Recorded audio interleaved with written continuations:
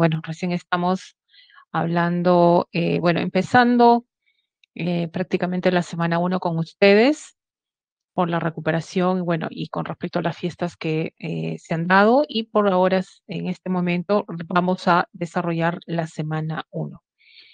¿Listo? Entonces, el caso de nuestro curso, vamos a tener los días viernes a la última, en este caso las dos últimas horas del turno tarde. Eh, vamos a recuperar todavía el otro domingo que viene. Eh, vamos a tener dos cursos eh, en, un mismo momento. Hablamos de geografía y educación cívica. Los temas que vamos a manejar hoy día, el primer, la primera semana en el caso de geografía, tenemos lo que es la geografía como tal, la definición, el objeto de estudio de la geografía. También vamos a mencionar lo que es el geosistema, líneas imaginarias y las coordenadas geográficas, ¿ya? Entonces, eh, eso es lo que vamos a desarrollar en el caso de geografía y en el caso de educación cívica vamos a adentrar lo que es el tema de derechos humanos. ¿Listo, chicos? Entonces, eh, vamos a ver la primera parte, sobre todo eh, de qué manera vamos a trabajar. Me gusta mucho la participación, voy a hacer algunas preguntas también con respecto, conforme vamos explicando y ustedes puedan escribir también a través del chat y puedan generar, eh, responder aquello que mm, se pregunta dentro del desarrollo del tema. Entonces, eh, no se olviden que tienen un multichat también donde pueden acceder, si algo no ha quedado claro, para poder también seguir despejando sus dudas. La idea es que eh, quedemos con eh, todas las cosas saldadas, ¿no? No tengamos dudas para ir a una evaluación. ¿Listo, chicos? Entonces, buen inicio de ciclo, vamos a empezar un nuevo año, estamos iniciando nuevas cosas, esperemos que esto sea mejor que el año que se fue y eh, pues con, la, con el objetivo que ustedes tienen al querer pues tener, ingresar a la Universidad Nacional Mayor de San Marcos. Empezamos entonces, chicos, ya vamos a ver la primera parte. Vamos a ver la parte de la evolución de la geografía como tal. Eh, para esto también nosotros hablamos de la definición. Fíjense, acá se habla de una definición. Dice, es una ciencia social, ¿ya? Esta ciencia social que estudia la relación hombre y medio que lo rodea. Profesora, ¿qué vendría a ser el medio? La naturaleza, todo lo que pues el hombre ha aprovechado a lo largo del tiempo desde que apareció. Entonces, esa interrelación constante, bueno, es estudiada por la geografía. Y es por eso que habla del objeto de estudio, del eh, eh, vendría a ser de la geografía, es el espacio geográfico. ¿Y qué cosa es el espacio geográfico, profesora? Es la naturaleza modificada por el hombre. ¿Ya? Entonces, para llegar a esta definición hoy en día y hablar que la geografía es una ciencia, entonces ha tenido que pasar por un proceso, hay un proceso de evolución. Es por eso que nosotros hablamos de la evolución de la geografía. Entonces, ¿cómo nosotros lo vamos a entender? ¿De qué parámetros nosotros podemos entender cómo ha evolucionado la geografía? Porque apareció como una simple ciencia para luego en la edad contemporánea hablar de eh, una disciplina y hablar de una ciencia como tal, ¿no? De carácter científico.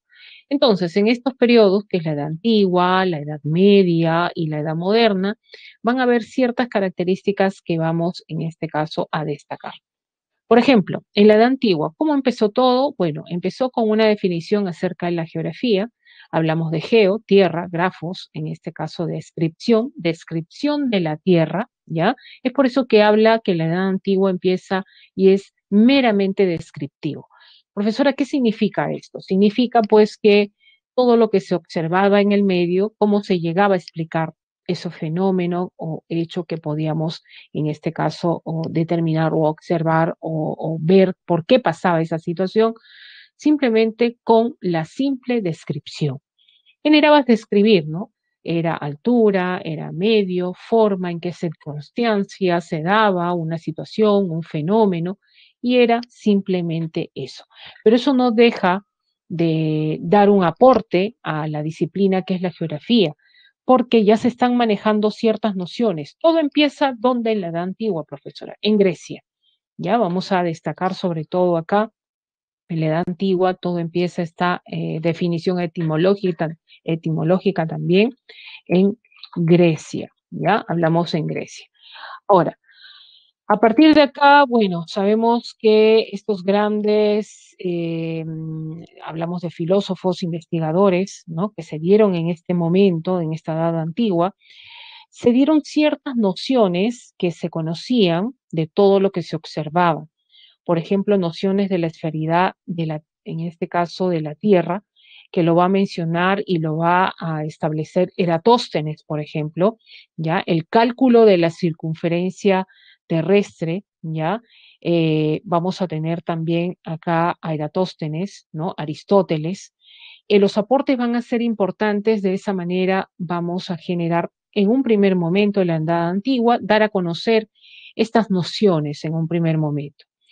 Profesora, ¿aumentó todo esto en la Edad Media? No, en la Edad Media, fíjense, todavía se mantiene como un carácter descriptivo. Eh, sabemos por historia que pues en el mundo occidental todas las ciencias en general no evolucionaron, sino decayeron por las circunstancias religiosas, políticas que se dieron. Entonces, eso significa pues que eh, en el mundo occidental no hubo mucho aporte, pero en el mundo oriental, el caso de los árabes, el caso de los chinos, por ejemplo, eh, pues hubo un aporte a la geografía, acerca, sobre todo en la cartografía. Sabemos que estas culturas, el caso de los chinos, el caso de los árabes, estas culturas de Oriente, eh, se, dedican al comercio, al intercambio de productos. Entonces, eh, tenían que viajar de una ciudad a otra ciudad. Entonces, esos viajes eran descritos, ¿no? Eran plasmados en un, eh, un plano. Finalmente están generando las representaciones cartográficas. Son los primeros que van a generar estas descripciones de sus viajes en los llamados mapas que posteriormente nosotros los vamos a conocer. Y el aporte chino que se va a dar también. Por ejemplo, ahí tienes al Idrisi, ¿ya? Tienes ahí también eh, Bartolomé de Pareto, que va a generar eh, la representación del mapa portulano. Todo esto va a cambiar y esto va a mejorar, eh, no deja de ser descriptivo todavía la geografía en la edad moderna. Sabemos que la edad moderna, por historia, ustedes lo deben conocer también, es la edad de las luces, de las nuevas ideas, de las nuevas ideologías que se están dando. Uno de ellos el humanismo, el renacimiento, la ilustración que dio mucho que dar con estas nuevas tendencias y estas nuevas ideas. Y de esa manera, también un acontecimiento importante que es la toma de la ciudad de Constantinopla, eje de comercio entre Oriente y Occidente, finalmente hace que se busquen nuevas rutas de comercio. Para eso se genera el descubrimiento de un nuevo continente, el continente americano. Entonces, estos avances van a permitir sobre todo dar alcances a la geografía grandemente. Hay representaciones cartográficas importantes para el sistema de navegación. Por ejemplo, ahí tenemos también a Nicolás Copérnico, que está eh, aportando, profesora Como, la teoría que, que él menciona, la teoría heliocéntrica, donde eh, pues eh, se habla que la Tierra, se conocía que la Tierra hasta ese momento era el centro del universo, pero él dice no, no es así. En esta teoría heliocéntrica, él plantea que el Sol, una gran estrella, es el centro del universo y él, la Tierra es un simple planeta que en este caso tiene una órbita alrededor de este. Entonces, eso generó conflictos eh, generó pues nuevas incidencias, eh, nuevas formas de investigar y también se está comprobando la esferidad de la Tierra. Sabemos que lo realiza Magallanes, eh, no lo termina, ¿no? Y finalmente Sebastián Alcano genera esa circunnavegación alrededor de la Tierra. Para llegar a la edad contemporánea, y en la edad contemporánea ya es de carácter científico la geografía. En esta, en esta situación, en la edad contemporánea, la geografía, al ser de carácter científico, entonces ya las explicaciones ya tienen eh, un antes, un durante y un después. ¿Cómo se explican estos fenómenos? Y por lo tanto, a partir de la edad contemporánea, nace y se establece el objeto de estudio de la geografía. ¿Cuál es el objeto de estudio de la geografía? Es la interrelación hombre y medio o, la naturaleza. Quiere decir, estamos hablando del espacio geográfico. ¿Ya? Entonces, esta definición que nosotros podemos leer acá estudia la interrelación entre el hombre y el medio que lo rodea, está hablando del espacio geográfico. Quiere decir que estamos hablando de la definición ya de la geografía y tiene un objeto de estudio como tal. En el ciclo 20 ya surge la geografía cuantitativa, la geografía sistémica, nuevos aportes, ¿no? Cuando hablamos de este tipo de geografía, donde necesariamente al establecer esto, eh, el nacimiento de estas o el, aporte de estas nuevas eh, enfoques que se van a dar de la, de la geografía, por ejemplo, habla de una geografía cuantitativa. Entonces, ¿qué significa una geografía cuantitativa? Aquella que recolecta datos. Estos datos son analizados para dar finalmente una versión final de lo que quieres explicar de un fenómeno que está aconteciendo. En cambio, la geografía sistémica, ¿ya? En la geografía sistémica te está hablando de esta geografía que estudia la unidad tierra como tal y todos los fenómenos que acontecen de esta unidad tierra, ¿no? Es por eso que habla de la geografía como unidad. A partir de acá, entonces, chicos, vamos a ver este resumen pequeño de, este, de lo que vendría a ser la evolución de la geografía y es por eso que hablamos ya acá en la edad contemporánea, estamos definiendo lo que vendría a ser la geografía como tal. Nuevamente menciono, es una ciencia social que estudia la relación entre el hombre y el medio. No olvidemos desde que apareció el hombre, eh, nosotros antes pensábamos que estudiar la geografía solamente era el medio natural, las montañas, la vegetación, ¿no? Eh, en este caso, todo elemento natural que conforma la naturaleza. No es así. Tenemos que estudiar esa interrelación que se ha dado constantemente desde que apareció el hombre. Cuando aparece el hombre, ¿qué ha hecho con la naturaleza? ¿Qué ha hecho con el medio? Lo ha modificado, entonces, ¿cuál es el objetivo de modificar la naturaleza por parte del hombre? Satisfacer qué cosa? Necesidades.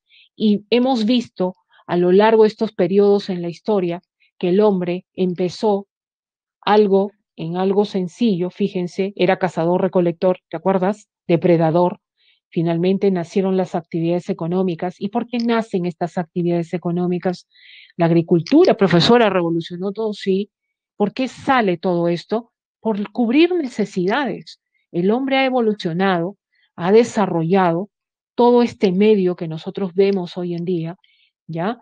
Bueno, lo ha depredado también, ¿ya? Y finalmente por satisfacer esas necesidades. Entonces se da esa interrelación hombre-naturaleza. Es por eso que cuando hablamos del objeto de estudio de la geografía, no solamente estudiar las montañas, los ríos, no solamente eso, sino cómo interviene el hombre en ese medio, en esas montañas, en esos ríos, en ese lago, ¿verdad? Cómo ha establecido una ciudad, cómo ha desarrollado, qué actividades económicas se estudian, se determinan, generan su, en este caso, su evolución o no. Entonces, esto es lo que se da a conocer como el espacio geográfico, que no es otra cosa, chicos, que la naturaleza que se ha modificado. ¿Y quién la ha modificado? El hombre. ¿Ya? El hombre. Miren, ustedes tienen ahí, por ejemplo, les ponen un gráfico, este es el paisaje que nosotros podemos observar acá, el paisaje natural de la Pampa de Olmos, en la zona norte del país, en la zona de Lambayeque. Profesora, una zona desértica, arenosa, profesora, sí, pero si tú sabes, eh, por teoría, por cultura general, sabemos que las pampas son suelos desérticos, es verdad. ¿Por qué hablamos de desierto? ¿Por qué nosotros hablamos de una zona desértica? Porque simplemente en esa zona escasea el agua. Entonces, lo único que falta a esta pampa es agua. ¿Ya? Profesora, ¿pero se puede sembrar acá? Sí. No olvides que las pampas son ricos, estos suelos son ricos en sedimentos aluviales. Por lo tanto, ¿podemos producir en este suelo? Sí, lo único que falta es agua. Entonces, ¿qué ha hecho el hombre para modificar este medio natural? ¿Qué ha hecho? Miren lo que ha hecho, miren lo que es hoy en día Olmos. Ha traído agua de la zona del río Santa, en la zona de Ancash, la ha llevado hasta la zona norte del país, ¿verdad? Y finalmente está generando un proyecto de irrigación donde está cultivando.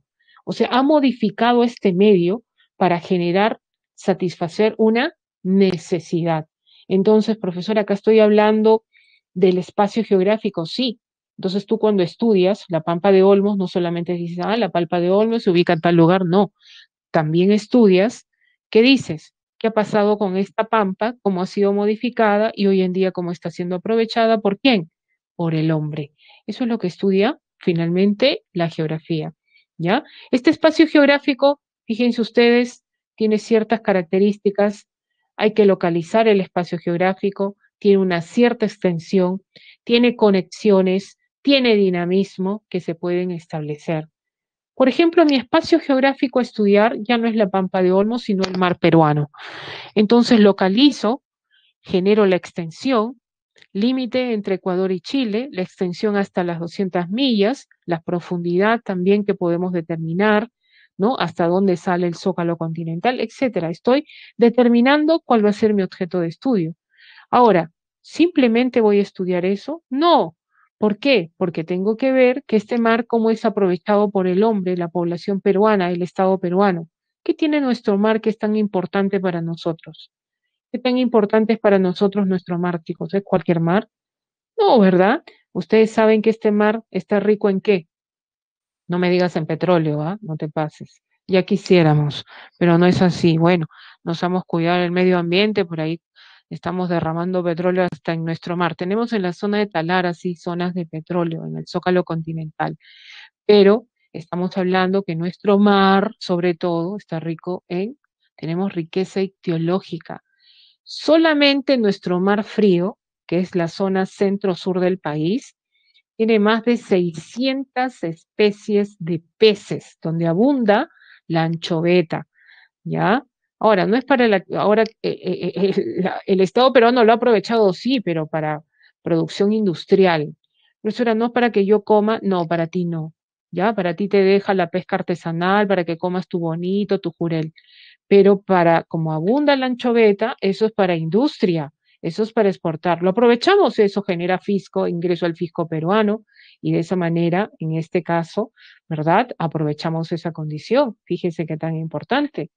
Entonces no podemos solamente estudiar el espacio geográfico que es el mar peruano, en este caso, ¿ya? Y no dejar cómo es que el hombre aprovecha esta condición. Pero no genera desarrollo, dice Cristian. Bueno, nuestro mar, eh, sabemos que a lo largo de los años eh, eh, nuestro mar pues ha tenido una cierta riqueza y todavía la tiene, a diferencia de otros espacios marinos, donde el Perú ha aprovechado a desarrollar lo que es una pesca industrial que favorece el ingreso de divisas, sí, pero no en gran cantidad. Antes de la minería, que es la primera, y, eh, una de las, en este caso, actividades económicas que más ingreso de divisas da hoy en día, antes era la pesca, ¿ya? Éramos primer productor en el mundo de harina de pescado, por ejemplo, ¿no? Eso hace mucho tiempo, chicos, tampoco nos ilusionemos, ¿ya? Pero nos ha dado productividad en algún momento, sí, ¿ya? Lo malo es que a veces yo digo, eso lo vamos a ver cuando vemos el mar peruano también, es que tenemos un mar tan rico en especies y nuestra población está desnutrida. Increíble, eso lo pasa en Perú, ¿ya? Debemos, somos un país pesquero, deberíamos tener pues una, un, un, sistema de nutrición pues alta, ¿no? A diferencia de otros países en Sudamérica, ¿no? En la década de los 60. Muy bien, Jonathan, por ahí, 70, 60, 70, 80 también llegamos. Entonces, y se busca las conexiones y relaciones y el dinamismo. Profesora, ¿qué significa? Conexiones. Sabemos que nuestro mar no es aislado, ¿no? Obvio que pertenece a nuestro territorio, a nuestro estado, pero también eh, te puedo preguntar, ¿nuestro mar eh, peruano tiene corrientes, corrientes marinas? ¿Afecta o no afecta al clima de la costa peruana? ¿Tú qué dices? Nuestro mar con las corrientes marinas que existen, ¿afecta o no afecta al clima de la costa peruana? ¿No? Entonces, claro que sí. Sabemos que es cierto, ¿no? Gracias a esas corrientes marinas es que tenemos una costa desértica, ¿ya? Desértica. A pesar de estar ubicados en una zona tropical donde, deberíamos tener lluvias intensas, no las tenemos. A las justas garúas. ¿Y a quién le vas a agradecer eso? Pues a la influencia que tienen estas corrientes que recorren en nuestro mar. ¿no? Entonces vemos ahí las conexiones que se dan también en el sistema climático.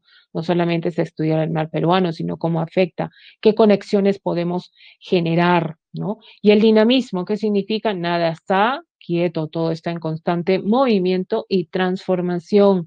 Las aguas de nuestro mar no son las mismas en propiedades químicas, físicas, cambian constantemente. No es lo mismo la temperatura en la zona central del país que en la zona sur del país. Las temperaturas tienden a ser más frías en el sur, en la zona norte es más cálida. ¿No? Entonces, generamos también la composición química que varía, ¿no? La salinidad. Entonces, nada es, nada es igual. ¿No? Nada es igual. Y para, la, para el, estudio científico, todo está en constante movimiento y cambio, sobre todo. Por eso, eso, esas personas que te ven de tiempo y te dicen, ah, mira, te ves igualita, no has cambiado nada, mentira. Te has cambiado algo, ¿ya? Solo que son buenos contigo. Todos cambiamos, chicos, en una hora, en un día, al día siguiente, en una semana, cambiamos, no somos los mismos. Todo está en constante cambio y transformación. ¿Ya? Y espero que sea para bien. Muy bien, entonces, hasta ahí vamos a ver la primera parte, vamos a la segunda, donde vamos a ver que también la geografía estudia el geosistema. Geo, ¿ya? Geo, geo, tierra, sistema, unidad. Te estamos hablando de la unidad tierra. Profesor, esta es la unidad tierra. Así es, ¿ya? Estamos hablando de la unidad, sobre todo en este caso, tierra, la unidad tierra. Entonces, este geosistema, dice, es la unidad funcional donde se da un sinfín de fenómenos producto de la interacción entre las entidades y los subsistemas, ¿ya? Entonces, eh, una unidad funcional donde se da un sinfín de fenómenos producto de la interrelación. Profesora, ¿qué significa interrelación? Estos, pues, de aquí, se interrelacionan unos con otros, los subsistemas y estas entidades. Por ejemplo, nosotros tenemos acá ya este círculo que estoy dibujando vendría a ser, ¿qué vendría acá a hacer esto? Vendría a ser el geo, en este caso geosistema, ¿ya? Uy, se me fue. Geosistema. Muy bien, el geosistema, ya, vamos a ponerlo acá, el geosistema, eh, dicen que es la unidad Tierra, y dentro de este geosistema eh, acontece un sinfín de qué? Va a acontecer un sinfín de fenómenos, acontece un sinfín de fenómenos. Ahora, este estos fenómenos, eh, ¿por qué se dan? Porque se genera la interrelación de las entidades, ya, de las entidades y los subsistemas, sobre todo. O sea, ¿qué quiere decir acá? Que estos dos se interrelacionan y finalmente dan como resultado los fenómenos. Y todo esto es estudiado, estos fenómenos que están dentro del geosistema, es estudiado por la geografía Profesora, ¿qué es un fenómeno, profesora? Bueno, hay fenómenos naturales, ¿no? Que son producto de la misma naturaleza, ¿ya? Eh, por ejemplo, los vientos, eh, ponemos ahí las corrientes marinas, fenómenos, ¿no? Los huracanes, fenómenos naturales, ¿ya? Hay fenómenos geográficos, por ejemplo, montañas, cordilleras, ¿ya? Hay fenómenos sociales, que está dentro también la parte, la parte, la actividad humana, antrópica, y todo eso, estos fenómenos, es estudiado por la geografía. Por eso que nosotros, cuando hablamos de las entidades, mencionamos a las abióticas, las bióticas y las antrópicas. abióticas, aquellas que no tienen vida, por ejemplo, bióticas, aquellas que tienen vida, y antrópicas hablamos del hombre. ¿Ya? Entonces, ¿cómo podemos relacionar eso? Por ejemplo, hablamos de litósfera, hablamos de atmósfera, hablamos de hidrósfera. Entonces, ¿estos a dónde pertenecerían? Estos son entidades, en este caso, abióticas, por ejemplo. Hablamos de la eh, biosfera. Profesora, ¿qué es la biosfera? Entonces, flora, fauna que existe en la Tierra. Esto estamos hablando de la zona de vida, bióticas, ¿ya? Y antrópicas vendría a ser la sociosfera, ¿no? El conjunto, las sociedades. Fíjense que se da esta interrelación y finalmente se dan estos fenómenos, ¿ya? Muy bien, chicos, a ver, les doy un, eh, un nombre. De, ustedes me dicen si son entidades bióticas, abióticas y antrópicas. Los leo, ¿ya? en el chat. Por ejemplo, la puya Raimondi. ¿Qué me dicen? A ver, la puya Raimondi. ¿Qué será para ustedes? ¿Biótica, abiótica o entrópica? Puya Raimondi. que será biótica, abiótica y antrópica. Muy bien, tenemos ahí eh, los vientos alisios. Los vientos alisios, ¿qué serán los vientos alisios? Los vientos alisios, muy bien, abióticas, ¿ya? Central Hidroeléctrica Santiago Antunes de Mayolo. Central Hidroeléctrica Santiago Antunes de Mayolo. Muy bien, antrópica, claro, no vas a decir abiótica. No te pases. Ya, antrópica. El hombre, pues, la ha generado la construcción de esta gran central. ¿Listo? A ver, rocas ígneas. A ver, ¿dónde? ¿Qué serán las rocas ígneas? ¿No? Abióticas, bióticas o antrópicas. ¿ya? Abiótica. Muy bien. Perfecto. Muy bien, chicos. Ya esas son parte de lo que Miren, lo que te acabo de preguntar vino en pregunta de examen. ¿Te imaginas? Increíble, ¿no? Vamos, entonces, pasamos a la tercera parte. Y la tercera parte, en el caso de geografía, nos vamos a los puntos y líneas imaginarias. ¿Ya?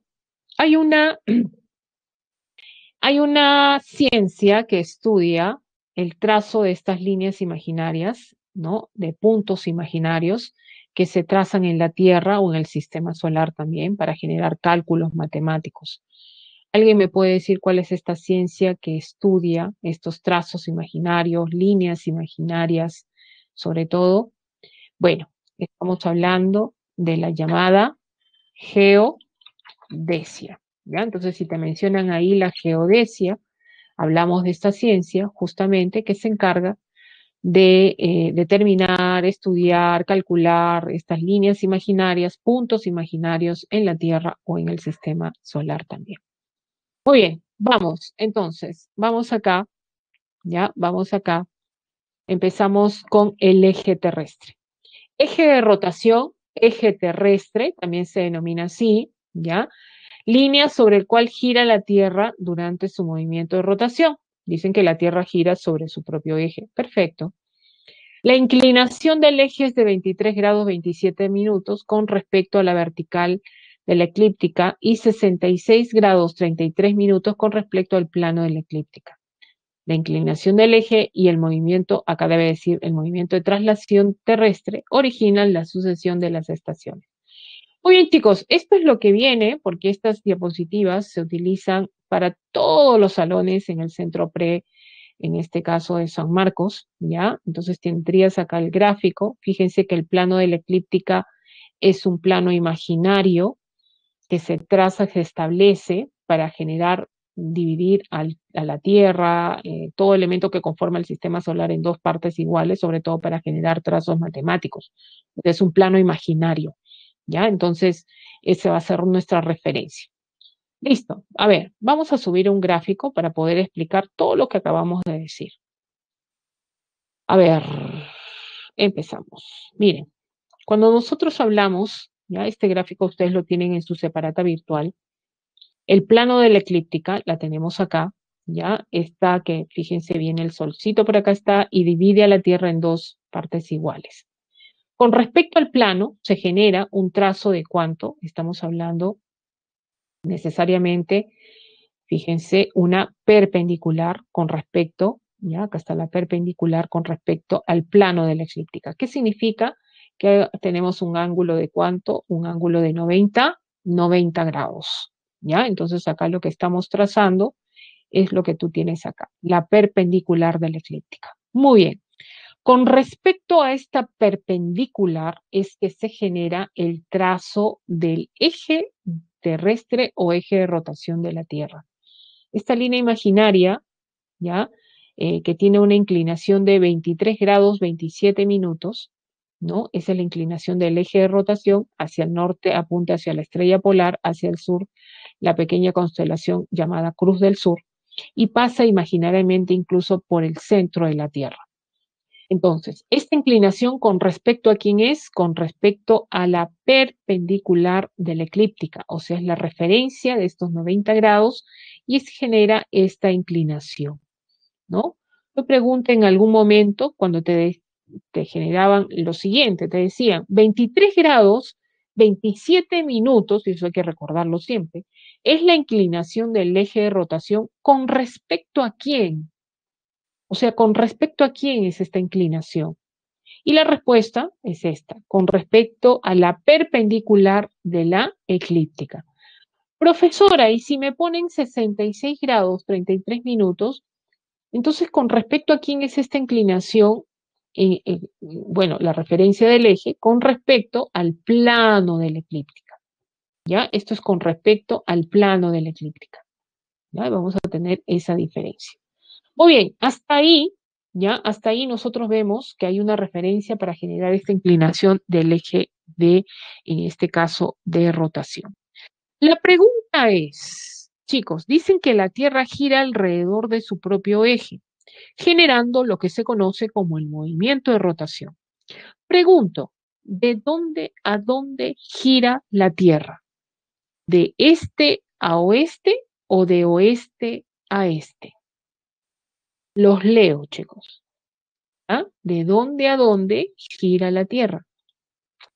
¿De este a oeste o de oeste a este? A ver, los leo. A ver, me dice ahí, me está respondiendo Jonathan, María José, Jorge Luis, ¿ya?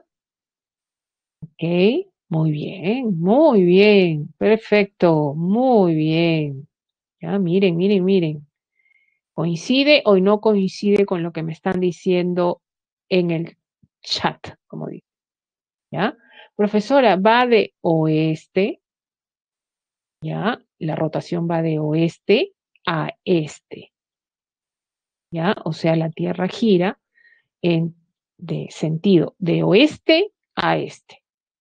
¿Listo? Es, no hay que olvidar este tan sencillo, ¿no? Que en algún momento nos pueden generar ese tipo de preguntas. Segunda pregunta. Chicos, ¿el eje inclinado de la Tierra trae o no trae consecuencias a, a ella? ¿Hay consecuencias que el eje tenga esta inclinación en la Tierra genera consecuencias o nada? ¿O la Tierra está fabulosa? ¿Ya? Sí hay consecuencias, claro que sí, ya hay consecuencias. A ver, vamos a ver cuáles son estas consecuencias, ¿ya? Vamos a tratar de explicar sobre todo de qué manera. Miren, otro gráfico. Imagínense que la Tierra no tuviera esa inclinación del eje de rotación de 23 grados 27 minutos. Imagínense que fuera este de acá. Profesora, que fuera perpendicular, así es. Imagínense el eje terrestre perpendicular y que la Tierra, a partir de ese eje perpendicular, gire de igual, ¿no? De oeste a este. ¿Imaginas eso? ¿Ya? Eh, ¿qué consecuencias traería la Tierra si tuviéramos un eje perpendicular así, recto? Miren lo que pasaría. ¿Qué pasaría, chicos? La llegada de luz, ¿ya? La llegada de luz y calor, ¿ya? Sería igual en toda la Tierra. Miren cómo llegaría. O sea, la llegada de luz y calor sería igual. ¿Cómo llegarían los polos? Perpendicular. ¿Cómo llegaría a la zona ecuatorial? Perpendicular. En la zona media, perpendicular. Todo el lugar perpendicular. ¿Qué significa perpendicular? Que sería directa. La incidencia de luz y calor sería directa en toda la Tierra. Conclusión, ¿qué estación existiría solo en la Tierra? No existiría más que una. ¿Qué estación, chicos? La misma temperatura, muy bien, Cristian. Ya, el mismo clima, claro que sí. Claro, porque estamos hablando de 90 grados. Verano, Tendríamos una tierra tropical. Tú te imaginas los polos llenos de vegetación, calor, altas temperaturas, no, no, no hubiera pues zonas en este caso de bajas temperaturas. No pasa, no pasaría nada de lo que hoy tenemos. ¿Ya? Entonces, sí trae consecuencias esta inclinación del eje de rotación. ¿Ya? Entonces, lo que está en rojito vendría a ser esta inclinación y fíjense de qué manera. Entonces ya la distribución, la distribución de luz y calor ya no es la misma. ¿Ya? ¿Cómo va a ser? De forma desigual. ¿Ya? Hoy, como que no habrían pingüinos, me ponen unas cosas. Luz y calor distinto en toda la Tierra. Por ejemplo, vamos a poner, ¿ya? miren cómo se ha inclinado esto, el rojito se ha inclinado el eje, ¿ya? Por ejemplo, en la zona de los polos, cómo llega la luz, sobre todo en este sentido, en la Tierra, de forma tangencial, ¿ya? De forma tangencial. En zonas, por ejemplo, vamos a poner acá, en zonas medias, ¿no? En esta zona, ¿cómo llegaría la incidencia de la luz en esta zona, por ejemplo, media? Llegaría de manera, en este caso, oblicua, ¿ya? Oblicua. Ahora, ¿cómo llegaría en la zona del Ecuador? Acá en el Ecuador, el único lugar en la Tierra que llevaría, en este caso, de forma perpendicular, ¿ya? Llegaría de forma perpendicular. Ahora, esto sería en el hemisferio norte, ¿ya? Esto sería en el hemisferio norte. Y también pasaría lo mismo, ¿no? La misma incidencia de luz y calor tangencial, lo oblicuo y perpendicular en el hemisferio, en el hemisferio sur. ¿Ya? En el hemisferio sur. Es por eso, gracias a esta inclinación del eje de rotación, ¿Qué se genera, chicos? La desigual distribución de luz y calor en el planeta y por eso es que se generan la formación de las diferentes zonas térmicas en el planeta. ¿Ya? Entonces, a partir de acá, por ejemplo, nosotros podemos decir lo siguiente, si estoy en el Ecuador, ¿qué pasa en el Ecuador? La temperatura es mayor. Entonces, me alejo, me alejo del Ecuador, ¿qué pasa con la temperatura? ¿Aumenta o disminuye? O sea, al alejarme del Ecuador, ¿qué sucede con la temperatura? ¿Aumenta o disminuye? me voy a la zona de los polos de la Tierra, cuando la inclinación del eje es de 23 grados 27 minutos. Disminuye. Ahora, a ti te preguntan por qué, y tú ya puedes responder, ¿por qué disminuye la temperatura? Por la desigual distribución de luz y calor y esto producto de la inclinación del eje de rotación. ¿Te das cuenta? ¿Ya? Ya, miren, otra forma de preguntar, ¿ah? las famosas preguntas de Ecos en San Marcos.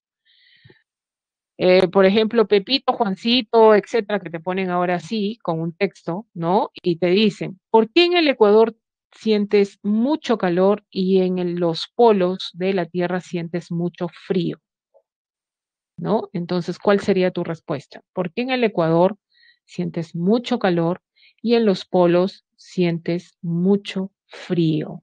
¿Te das cuenta? ¿Ya? Entonces, ¿qué ¿Qué, qué marcaría, o sea, qué responderías tú ahí, no? O sea, que alguien te pregunta, tu hermanito, ¿no? Oye, ¿por qué en el Ecuador hace tanto calor y en los polos hace tanto frío?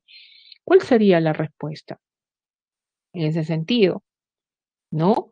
Eh, vamos a ver por la separación de latitudes, pero sobre todo por la inclinación del eje de rotación, ¿ya? Y esto genera, ¿qué genera, chicos? ¿No? La desigual distribución de luz y calor, ¿ya? Ojo con esto. Entonces, por ahí me dicen, ¿no? Profesora, una respuesta más directa sería que en el Ecuador la incidencia de la luz es perpendicular y en los polos es tangencial. Y yo te diría, ¿por qué? La respuesta sería por la inclinación del eje de rotación. ¿Ya? Por la inclinación del eje de rotación, el eje terrestre. Muy bien. ¿Ya? Entonces, que quede así, chicos, y acá se pueden sacar 10, 20 preguntas de eco, ¿ah? Ojo con esto. Muy entonces vamos a ver acá, ¿ya? Esto es la explicación del eje de rotación, eje en este caso terrestre. Seguimos con eh, nuestra diapositiva de geografía. Vamos a ver, ¿ya? Chicos, miren qué es lo que pasa acá cuando dice la inclinación del eje y, el movimiento de traslación originan la sucesión de las estaciones. ¿Qué sucede acá? Vamos a volver en este caso a la presentación. Fíjense, acá vemos que la Tierra está girando sobre su propio eje generando el movimiento de rotación, pero también lo hace alrededor del Sol. Entonces, nosotros sumamos la inclinación del eje, ya, vamos a poner acá en iniciales, inclinación, ya, la inclinación del eje, el eje, más, ya, más, ya, tenemos acá, el movimiento, ponemos acá, ya, el movimiento de traslación, queda como consecuencia en la Tierra, chicos, esto, queda como consecuencia en la Tierra, da como consecuencia la formación de las estaciones. de las estaciones. ¿Ya? Inclinación del eje de rotación del eje terrestre, más el movimiento de traslación, o sea, cuando la Tierra está girando alrededor del Sol, ¿ya? Genera las estaciones. Y cuando nosotros hablamos de las estaciones, profesora, yo ya conozco las estaciones. Muy bien. ¿Cuáles serían? Estamos hablando de los llamados, sobre todo, solsticios, ¿ya? Hablamos de los solsticios, y hablamos de qué más? Hablamos de los X, en este caso, equinoccios. Equinoccios vienen de equidad, de igualdad. Ahora, ¿qué quiere decir? Que en la Tierra solo se producen solsticios y solo se producen equinoccios. Durante un año tenemos o bien solsticios o bien equinoccios, nada más, ¿ya? Por ejemplo, si es solsticio, tenemos dos estaciones. ¿Cuáles son las estaciones del solsticio? Tenemos ahí verano, invierno. ¿Cuáles son las estaciones del equinoccio? Bueno, lo que sobra, pues, profesora, lo que sé, primavera, en este caso, otoño. ¿Ya? Y esto se da de acuerdo al hemisferio en la Tierra. ¿Ya? Y esto se da, en este caso, de acuerdo al hemisferio en la Tierra. Por ejemplo, chicos, si nosotros tenemos acá el planeta Tierra, vamos a tener acá, ya, vamos a poner un ejemplo, ya, tenemos acá hemisferio norte, hemisferio, en este caso, sur, ya. Entonces, díganme ustedes en Lima, ¿en qué estación estamos? en este momento, Lima, ¿qué estación estamos? Nos encontramos. A ver, Lima, ¿qué estación tiene? ¿Están sintiendo frío, chicos? Hoy me preocupa, hay que medirse la temperatura. Ya, a ver, ¿qué estación? En este caso estamos, ¿cuándo empezó? El 20 de diciembre, ¿verdad? Empezó el verano. Muy bien. Eh, chicos, si es verano, dime qué es, solsticio o equinoccio. O sea, en el planeta estamos o bien solsticio o bien equinoccio. Estamos en sol, solsticio. Ahora, si en el hemisferio sur, que está el Perú, es verano y es solsticio de verano, ¿qué estación tiene el hemisferio norte en ese mismo momento? o sea, el 3 de enero del 2021, ¿qué estación tiene el hemisferio norte? No vamos a poner primavera, pues, ¿ya? ¿Qué será? Porque es solsticio. En solsticio o bien hay verano o invierno, nada más. Entonces, en el hemisferio norte será invierno. ¿Ah? Invierno. Jóvenes, ¿cuándo empieza tu primavera?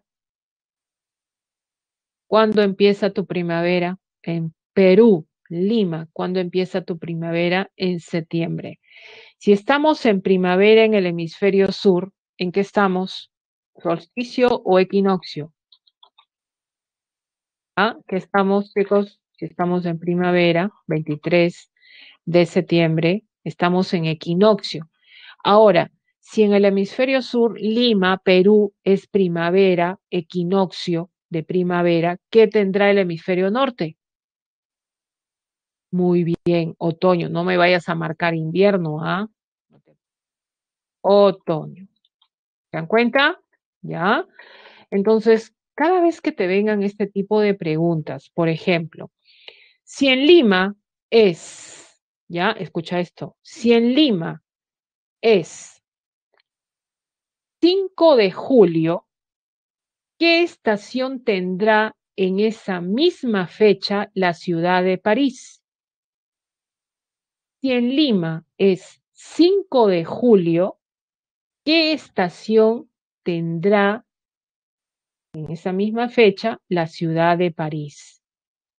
¿Ya? Chicos, 5 de julio para nosotros, ¿qué es? 5 de julio, ¿qué estamos? Profesora, 5 de julio, ¿qué es? In invierno. ¿ya? Estamos en invierno. ¿Listo? Porque de ahí viene junio, julio, agosto, septiembre, de ahí viene la primavera, pues estamos en in, en invierno, ¿ya? Si nosotros en Lima estamos en invierno, el 5 de julio, ¿en qué estación estará la ciudad de París, que está en el hemisferio norte? Ya, eh, invierno, ¿qué cosa es? ¿Solsticio o equinoccio? Solsticio, pues. Y en el otra estación, ¿en qué estarán? En verano. ¿Ya? Estarán en verano. ¿Ya? Estarán en verano. ¿Listo, chicos? Guíate de tu hemisferio, guíate de, de nuestro, en este caso, de nuestro país, qué estaciones tenemos. Chicos, esto no es teoría que estamos manejando en el virtual, te estoy explicando algo para que tú conozcas y cuando se te presente alguna pregunta en cuestión de, por ejemplo, ahí te das cuenta de algo, ¿no? ¿De qué te das cuenta de algo? Por ejemplo, eh, lugares que están ubicados en un mismo hemisferio comparten la misma estación, por ejemplo, ¿no? Entonces, eh, y también eh, cuestión de solsticio equinoccio es una referencia para tenerlo en cuenta. Sobre todo hay que recordar cuando hablamos de solsticio cuáles son las estaciones que se manejan y cuando hablamos de equinoccio cuáles son las estaciones que se manejan. Muy bien, chicos, seguimos. Ahora vamos a seguir. Tenemos que seguir con la presentación. La vida sigue, no podemos quedarnos en uno solo, ¿no? Tenemos poco tiempo también. Vamos a lo que vendría a ser el polo geográfico, ¿ya? Son los puntos extremos del eje de rotación. Eh, se encuentran, en este caso, en las zonas más frías del planeta, ¿no? Donde tenemos las más bajas temperaturas y ya sabemos por qué existe tanto frío en los polos porque la incidencia de la luz es de manera tangencial y esto debido a la inclinación del eje de rotación. Presentan una máxima latitud que parte del ecuador que es 0 grados y cuando llegas a los polos es 90 grados y se produce un fenómeno conocido como seis meses de día y seis meses de noche, respectivamente, de acuerdo a las estaciones en esta zona de los polos. ¿Ya? Entonces, chicos, para esto, por ejemplo, vamos a tener lo siguiente, ¿no? Yo tengo este gráfico, al tener este gráfico quiero que te des cuenta de algo. Por ejemplo, tienes el eje de rotación acá, con la inclinación de 23 grados 27 minutos. Imagínate esta posición de la Tierra en este momento, ¿ya? Está dando, acá está el Sol, está girando alrededor del Sol. Olvidemos del Sol que está en este sentido, el Sol vendría a estar en este sentido. Vamos a poner el Solcito por acá. ¿ya? A ver, vamos a poner al solcito por ahí, oh, el solcito. Muy bien, a ver, entonces, ¿qué significa ya que la Tierra en este momento está girando alrededor del Sol? Es para dar un ejemplo de cómo es que se producen estos seis meses de día y seis meses de noche. Entonces, ¿qué sucede? Fíjense en la zona del Polo Norte, ¿ya? La incidencia de la luz, cómo llega de manera, sobre todo, tangencial. Y si llega de manera tangencial, fíjense, acá sí hay presencia de luz, ¿ya? Entonces acá hay presencia de luz solar. Acá está, por ejemplo, ya el solcito, vamos a tener acá la presencia de luz solar. O sea, tenemos que ubicarnos cerca de estos polos para poder ver eh, acontecer este fenómeno. O sea, acá se van a producir seis meses de día, o sea, en el polo, sobre todo en el polo norte, se está generando esta incidencia, seis meses de día y seis meses de noche. Ahora, ¿qué sucede mientras en el polo eh, norte hay esta incidencia tangencial, llega, está llegando directamente al polo, en el polo norte? ¿Qué sucede en el polo eh, sur? por la posición de la Tierra y la inclinación que tiene, fíjense, la incidencia de la luz ya no llega directamente al polo. ¿Ya? Entonces, como ya no llega directamente al polo, esta zona se cubre, sobre todo, se está cubriendo y se va a cubrir de noche. ¿Ya? Esta zona sí se cubre de noche en la zona sur. Y eso dependiendo de las estaciones. ¿Cuándo vas a ver más este fenómeno? Sobre todo en los extremos de los solsticios. Cuando es el verano, ¿no? Vamos a ver en las zonas de verano, en el hemisferio norte, la incidencia de la luz es constante. Nunca se oculta el sol por seis meses, ¿ya? Y acá lo contrario, nunca sale el sol y hay noche constante por seis meses. Son las seis, las ocho de la mañana y el sol no sale, es oscuro, Pero el reloj marca que ya es de mañana. ¿Y por qué pasa este fenómeno, profesora? Por la inclinación del eje de rotación sobre todo, y el movimiento de traslación. ¿Por qué acontece este fenómeno? Inclinación del eje de rotación y el movimiento de traslación. Profesora, yo quiero ver este fenómeno, profesora. Bueno, para ver este fenómeno de la incidencia, sobre todo, o también conocido como día artificial, sol de medianoche, nos vamos a zonas del planeta que tengan alta latitud, o sea, que estén alejados del Ecuador. Las zonas nórdicas, europeas, por ejemplo, Alaska, la zona de Siberia, donde tú vas a ver que es verano, son las 11, eh, 12 de la noche y hay presencia de luz solar. ¿Ya? O contrariamente pasa en el otro hemisferio donde ya en cuestión de poco, poco dura la luz del sol y más dura la noche. ¿No? Entonces tú te vas a ir a hacer maestrías a Europa, a Francia, Alemania, en verano vas a ver ese, ese tipo de fenómenos y tú no vas a decir, ay, ¿por qué pasa esto? Ya sabemos por qué pasa esto inclinación del eje de rotación, zonas más altas, zonas de latitudes altas y sobre todo encontramos en, eh, en este caso por movimiento de traslación, inclinación del eje de rotación. Profesor, en el Perú lo vemos, miren, en el Perú chiquitito, en el caso de verano, por ejemplo, ¿a qué hora anochece en el verano, chicos? ¿No? ¿Qué hora tiende a anochecer en el verano? ¿A las seis? No. ¿Seis y media? No. ¿Ya?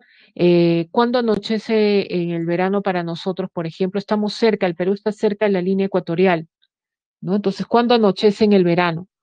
Eh, a las un cuarto para las siete se está ocultando el sol y a las siete se oscurece total. Tienes 15 minutos de día artificial, así chiquitito. Conforme tú te alejes del ecuador, esos minutos en presencia de luz o de noche, de acuerdo al hemisferio, va a aumentar. Cuando tú te vas más te alejas más del ecuador y te acerques más a los polos, vas a ver estos fenómenos mucho más recurrentes, ya mucho más, en este caso, eh, más, eh, eh, más fuerte, ¿no? Es por eso que hablamos a partir de ahí que se generan este tipo de fenómenos. Y, y si quieres ver este fenómeno directamente, tendríamos que estar en los polos.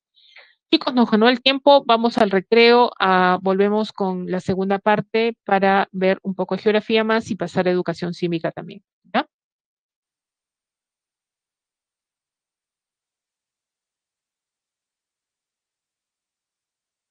A ver, chicos, continuamos entonces, ya. Eh, me han hecho algunas preguntas respecto al tema de los polos y el día artificial eh, que he mencionado. Eh, esto del fenómeno que ocurre de seis meses de día, seis meses de noche en los polos.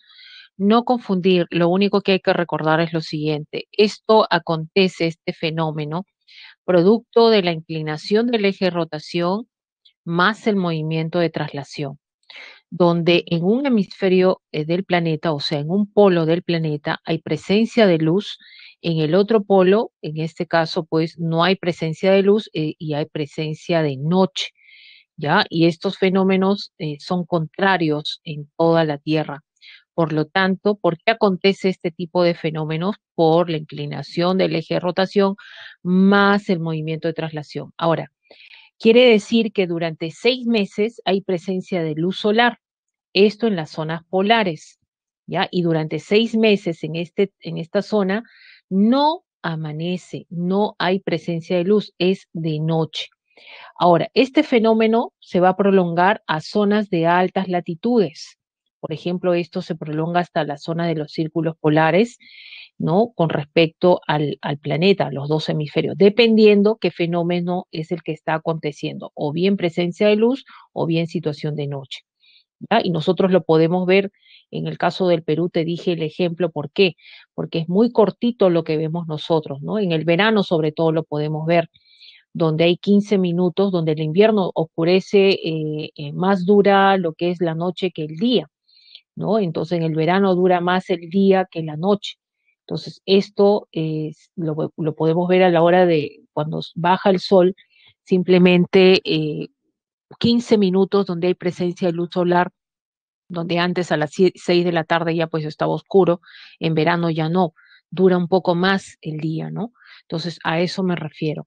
¿ya? Entonces, este tipo de fenómenos eh, tenemos que establecer esa situación. Ahora, vamos a la siguiente, en este caso, ya generamos la siguiente diapositiva. Eh, continuamos luego de los polos. Chicos, ahorita vamos a ver cívica también, no se preocupen. El ecuador terrestre divide a la Tierra en dos hemisferios, esto hay que recordar, por favor. ¿Cuáles son los hemisferios que hay que manejar? Ya, si hablamos de norte, por ejemplo, hablamos de septentrional, ya, eh, también hablamos también septentrional, norte también vendría a ser boreal, ya. Si hablamos del hemisferio sur, hablamos de meridional, ya, y hablamos de austral. Por favor, estos, eh, estos sinónimos manejarlos. Ahora, equidistante a los polos, también se conoce como el círculo máximo de la Tierra, ¿ya? Y parte de cuánto el valor en el ecuador terrestre, parte de cero grados, sobre todo, ¿ya? Cero grados, tenemos acá cero grados, cero minutos y cero segundos, ¿no? Y conforme se aleja del ecuador, la máxima latitud, ¿a cuánto lo vamos a encontrar? Esto lo encontramos en los polos, a 90 grados, en los dos hemisferios, Ahora, la circunferencia ecuatorial de cuánto mide, estamos hablando de 40.075 kilómetros.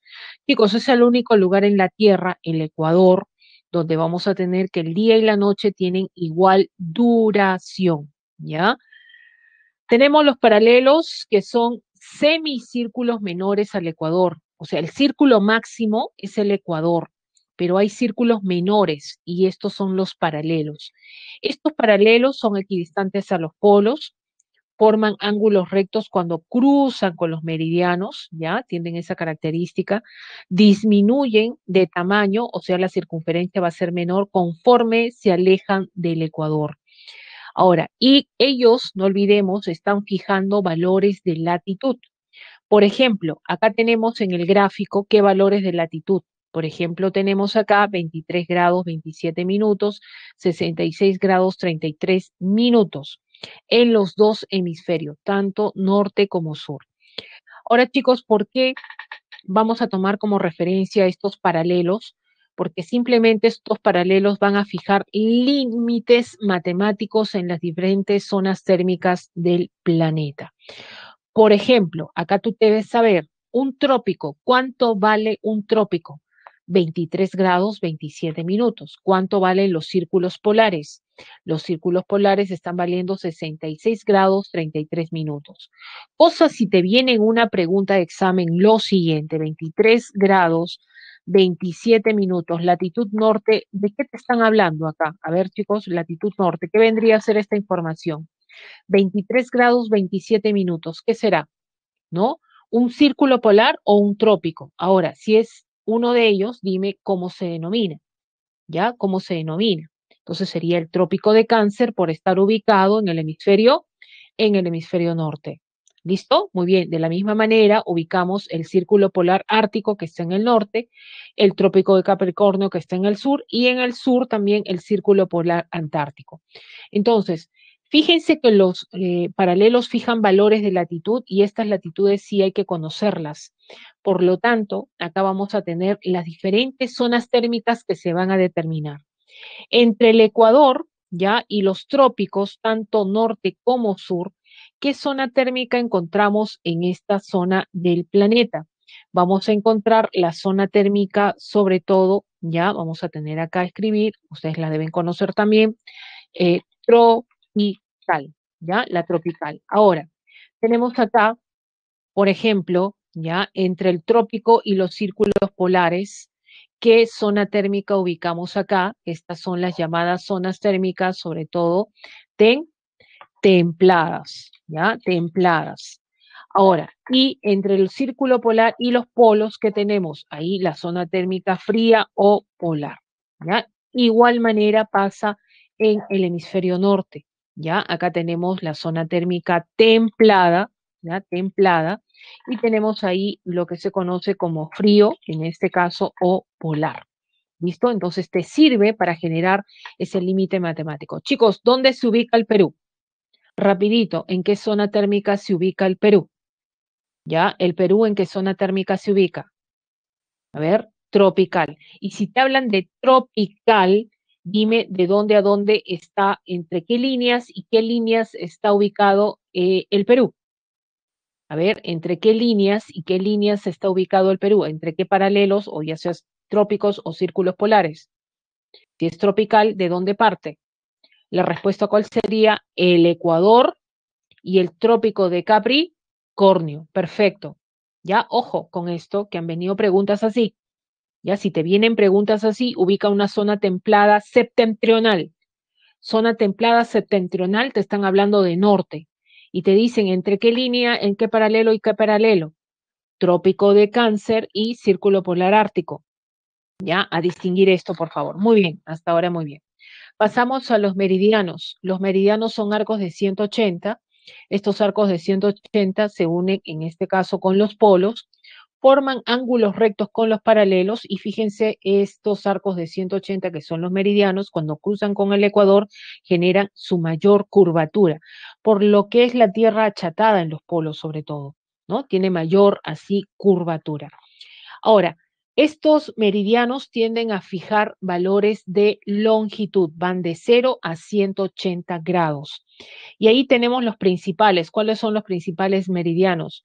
Parte el meridiano conocido el meridiano de Greenwich, aparte de 0 grados. Gracias a este meridiano podemos conocer la referencia de la hora internacional también, ¿no? Donde las horas aumentan, donde las horas disminuyen, por ejemplo.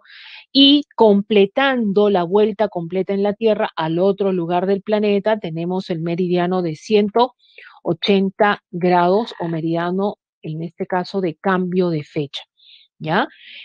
Ahora, la Tierra se divide a través de cero grados, por ejemplo, de Greenwich en dos hemisferios, ¿no? Tenemos ahí, por ejemplo, ¿ya? Oeste, ¿ya? Oeste y este, ¿ya? Oeste y este, oriente y occidente. También vamos a poner acá, ¿ya? Lo que es poniente, ¿ya? Poniente, también tenemos acá, vamos a poner ahí, poniente, y también tenemos acá levante en el este, ¿ya? Levante.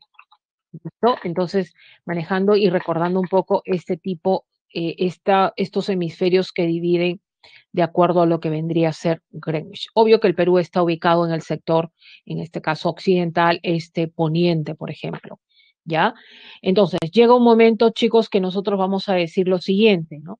Donde las horas aumentan y donde las horas disminuyen, por ejemplo. Vamos a determinar lo siguiente, ¿ya? A partir de cero grados, si tú te vas más al este, ¿ya? Te generas ir más al este, así estés en cualquier referencia, te vas más al este, las horas tienden a aumentar, ¿ya? Tienden a aumentar. Ahora, si te vas más al oeste, ¿ya? ¿Qué pasa con las horas? Las horas tienden a disminuir. Entonces, miren acá, chicos, rapidito para que ustedes puedan observar esto de acá, ¿qué significa? A partir de Greenwich generamos este trazo, este y oeste, ¿ya? Donde cero grados es Greenwich. Ahora, fíjense, 360 grados es la vuelta completa en la Tierra en grados, lo hace en 24 horas, donde concluimos a partir de ahí que en una hora hay 15 grados. Es por eso que en cada hemisferio, ya con referencia a cero grados, que es Greenwich, vemos los siguientes, que cada uso horario que se traza vale 15 grados. ¿El otro cuánto vale? 30. El otro hasta llegar a finalmente a cuánto? 180. En los dos hemisferios es lo mismo. ¿Ya? Profesora, ¿cuántos usos se traza por hemisferio? 12, 12. En total son 24. ¿Ya? Ahora, entre uso y uso, ¿cuánto tiempo hay? Una hora. O sea, tú cruzas un uso, estás aumentando, disminuyendo una hora, una hora, una hora, una hora. Entonces, por ejemplo, ¿qué hemos dicho? Si nos vamos más al este, las horas aumentan. Si nos vamos más al oeste, las horas disminuyen. Chicos, ¿qué pasaría si en el meridiano de Greenwich son las 12 del día? ¿Qué hora será en el punto A? A ver, alguien que me pueda decir. Si en el meridiano de Greenwich son las 12 del día, díganme qué hora será en el punto A 45 grados este, según lo que tenemos ahí. Entonces, ¿qué va a pasar ahí? ¿Aumenta o disminuye las horas? aumenta porque me estoy yendo más al este. Entonces, 12, 13, 14, 15. 15 horas, ¿cuánto es? Las 3, las 3 de la tarde. Ya, a ver, miren, 12, 13, 14 y 15. ¿No? Entonces, Cada uso que tú cruces es una hora, una hora, una hora, una hora. ¿Ya? Acá estás en 12 en Greenwich, en 0 grados, partes acá 13, acá 14 y acá 15 horas. Vendría a ser las 3 de la tarde. ¿Ya? Chicos, de la misma manera, en el punto B, ¿qué hora es? A ver, si en el meridiano de Greenwich son las 12 del día, ¿qué hora es en el punto B? A ver, ¿qué hora será? Ahora, ¿las horas aumentan o disminuyen si yo me voy a B? ¿No? Tienden a disminuir. Entonces, si en el Greenwich son las 12 del día, ¿qué hora será en el punto B? Entonces va a disminuir. ¿Cuánto? Una hora conforme usos cruces. 12, 11, 10, 9, 8 de la mañana. Muy bien, chicos, aquellos que han respondido. ¿Listo, chicos? Entonces, esto es una referencia para que ustedes puedan ver cuándo las horas aumentan y disminuyen. Finalmente, ¿qué va a pasar? Miren lo que está sucediendo. Vas a llegar al meridiano de 180 por los dos hemisferios, acá este y oeste. Finalmente llegas al de 180. ¿Y qué cosa es el de 180? Finalmente, vas a encontrar el siguiente gráfico que acá te acabo de mostrar. Este de acá, de 180. Entonces, chicos, si estamos en Perú, ya, si estamos en Perú y nos vamos a Japón, tendríamos que hacer esto. En Japón, esta isla, bueno, es un conjunto de islas que es un archipiélago Japón, finalmente, fíjense, las horas van a aumentar o van, a disminuir. Van a aumentar porque en Japón ya están más horas, incluso más cerca de la línea de 180. ¿ya? Entonces, este meridiano de 180 te va a mostrar el cambio de fecha. ¿Qué día estamos hoy, chicos? Hoy día es domingo, ¿ya? Hoy día es domingo. ¿Ya? Hoy día es domingo. ¿Japón está en domingo? No, ellos ya están entrando a dónde? Ellos ya no están domingo, ellos ya están entrando al lunes. O sea, tú al cruzar este, este meridiano de 180, fíjense, drásticamente cambia simplemente la hora y la fecha. ¿ya? Cambio de fecha, cambio de día también, ¿no? Necesariamente. Entonces, profesora, entonces, así es. Jóvenes, miren, eh, acá ha sido tu cumpleaños domingo en este sector del Pacífico, donde estamos hablando de la Polinesia, por ejemplo. Cruzas al otro sector donde está América y vuelve a ser domingo. Fíjense, ¿ya? Entonces tú puedes generar ese cambio y saber el cambio de fecha que se produce a partir de este meridiano de 180. Este es el único lugar del planeta donde tú puedes cruzar este meridiano y celebrar tu cumpleaños dos veces en un año. ¿Ya? Dos veces en un año. Tu cumpleaños ha sido un domingo, has estado en la Polinesia, cruzas al otro sector en América, es domingo, otra vez tu cumpleaños. Profesora, ¿puedo rectificar los errores? También si es que puedes. Bueno, si es que puedes. Y es por eso que en estas zonas donde hay superficie de tierra, es un convenio ya internacional, esta línea de 180 debería ser una curvatura igual que el meridiano de Greenwich. ¿Por qué tiene esta sinuosidad? Simplemente porque no debe tocar superficie en este caso terrestre, para evitar las situaciones de cambio de fecha drástica. Imagínense una isla en este sector que cruza el meridiano de 180, por un lado es domingo y por el otro lado lunes. Yo me imagino, ¿no? La gente cruza para acá, cruza para el otro lado y un pues bolondro. Para evitar esas cosas, ¿qué se ha hecho? Que es, esta línea no cruza superficie, en este caso de tierra. Ya se da de esa manera. Muy bien, Chicos, y no olvidemos que las líneas imaginarias también en ese sentido eh, generan recorrer continentes en los cuales han venido en preguntas de examen. Por ejemplo, hablamos del ecuador terrestre. ¿Qué continentes recorre el ecuador terrestre? ¿No? Atraviesa esta línea importante. América del Sur, África, Asia y Oceanía. Meridiano de Greenwich, esto debido al observatorio de Greenwich en Inglaterra, ¿no? Entonces pasa por Europa, pasa por África y finalmente la Antártida. Viene el trópico de qué? Trópico de Cáncer, ¿ya? América del Norte, tenemos África y Asia. Y también tenemos el trópico de Capricornio, América del Sur, tenemos África y Oceanía. Fíjense que África, cuántas líneas imaginarias en este caso lo recorre, ¿ya? Eso para dar un ejemplo. Y por último, terminamos con las coordenadas geográficas. Chicos, las coordenadas nos permiten medir, localizar de manera exacta cualquier punto en la Tierra con dos sistemas angulares, latitud y longitud. ¿ya? Entonces, cualquier punto ubicado en la Tierra lo ubicamos a través de estas situaciones angulares. Ahora, por ejemplo, la ciudad de Lima se localiza a 12 grados en minutos y en segundos, fíjense, de latitud sur y 77 grados 03 minutos 20 segundos longitud oeste. La latitud, tu referencia, ¿quién va a ser? El Ecuador. ¿Ya? Cualquier punto con referencia al Ecuador es la latitud. Por lo tanto, ¿qué hemisferios vas a manejar? Norte y sur. La longitud, ¿quién va a ser tu sistema de referencia? El meridiano de base o el meridiano de Greenwich. Entonces, acá vas a tener dos hemisferios, este y oeste. Entonces, vamos a también acá dar un ejemplo rapidito donde vamos a ver, con esto terminamos la parte de geografía, vamos a ver, por ejemplo, cómo es que nosotros ubicamos estas coordenadas geográficas. Por ejemplo, latitud. ¿Qué cosa es? Mi referencia es el Ecuador. Dos hemisferios que hay que manejar. Chicos, a ti te dicen norte, ya sabes qué es latitud, porque hablarte de norte te están diciendo que tu referencia es el Ecuador. Va de 0 a 90 grados. No vayas a decir que hay latitud de 180 grados. 0 a 90. Longitud, la referencia es el meridiano de Greenwich o de base va de 0 a 180 y los hemisferios es este y oeste. Por ejemplo, voy a ubicar el punto A, la coordenada del punto A.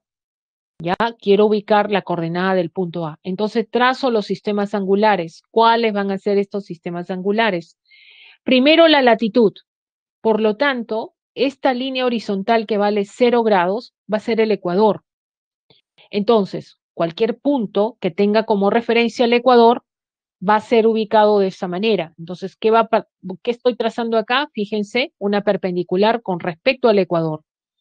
¿Cuánto mide A, chicos? Con respecto a la línea ecuatorial, mide 30 grados. Ahora, esto vendría a ser la latitud, pero no olvides el hemisferio, se ubica en el hemisferio norte. Ahora, con respecto a la longitud, mi referencia, ¿quién es? El meridiano de Greenwich, que es esta línea perpendicular. Ya no es horizontal como era el Ecuador, acá es perpendicular. Por lo tanto, trazo una línea y va a ser horizontal finalmente la que llega al punto A.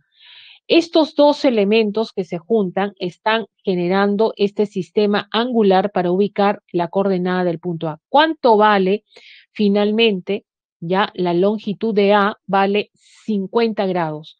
¿Quiénes fijan valores de longitud? Los meri, los meridianos. Parten de Greenwich, 10, 20, 30, 40, 50, hasta 180, ¿no? Por los dos hemisferios. Y finalmente el punto A parte de 10, en este caso con respecto a lo que es la latitud, hasta 90 grados. Entonces, respuesta, cuál sería la coordenada geográfica del punto A, ¿no? Empezamos. ¿Cuánto vale la latitud? Vale 30 grados, ¿ya? 30 grados. Latitud, en este caso, ¿ya? Tenemos ahí latitud norte, ¿ya? Y seguimos. Y, ¿ya? Y tenemos ahí, y, ¿cuánto es la longitud? La longitud abarca de lo que vendría a ser 50 grados, ¿ya? 50 grados, no te olvides poner los hemisferios siempre, longitud, en este caso tenemos ahí longitud este. Este sería la coordenada geográfica como una referencia, chicos, porque en su mayoría están viniendo, nos, sabemos que es grados, minutos y segundos, ¿ya? Muy bien, chicos, háganme la coordenada geográfica del punto B para terminar esta parte. Coordenada geográfica del punto B. ¿Cuál sería? A ver, los leo coordenada geográfica del punto B. ¿Cuál sería la respuesta? Primero la latitud, por favor.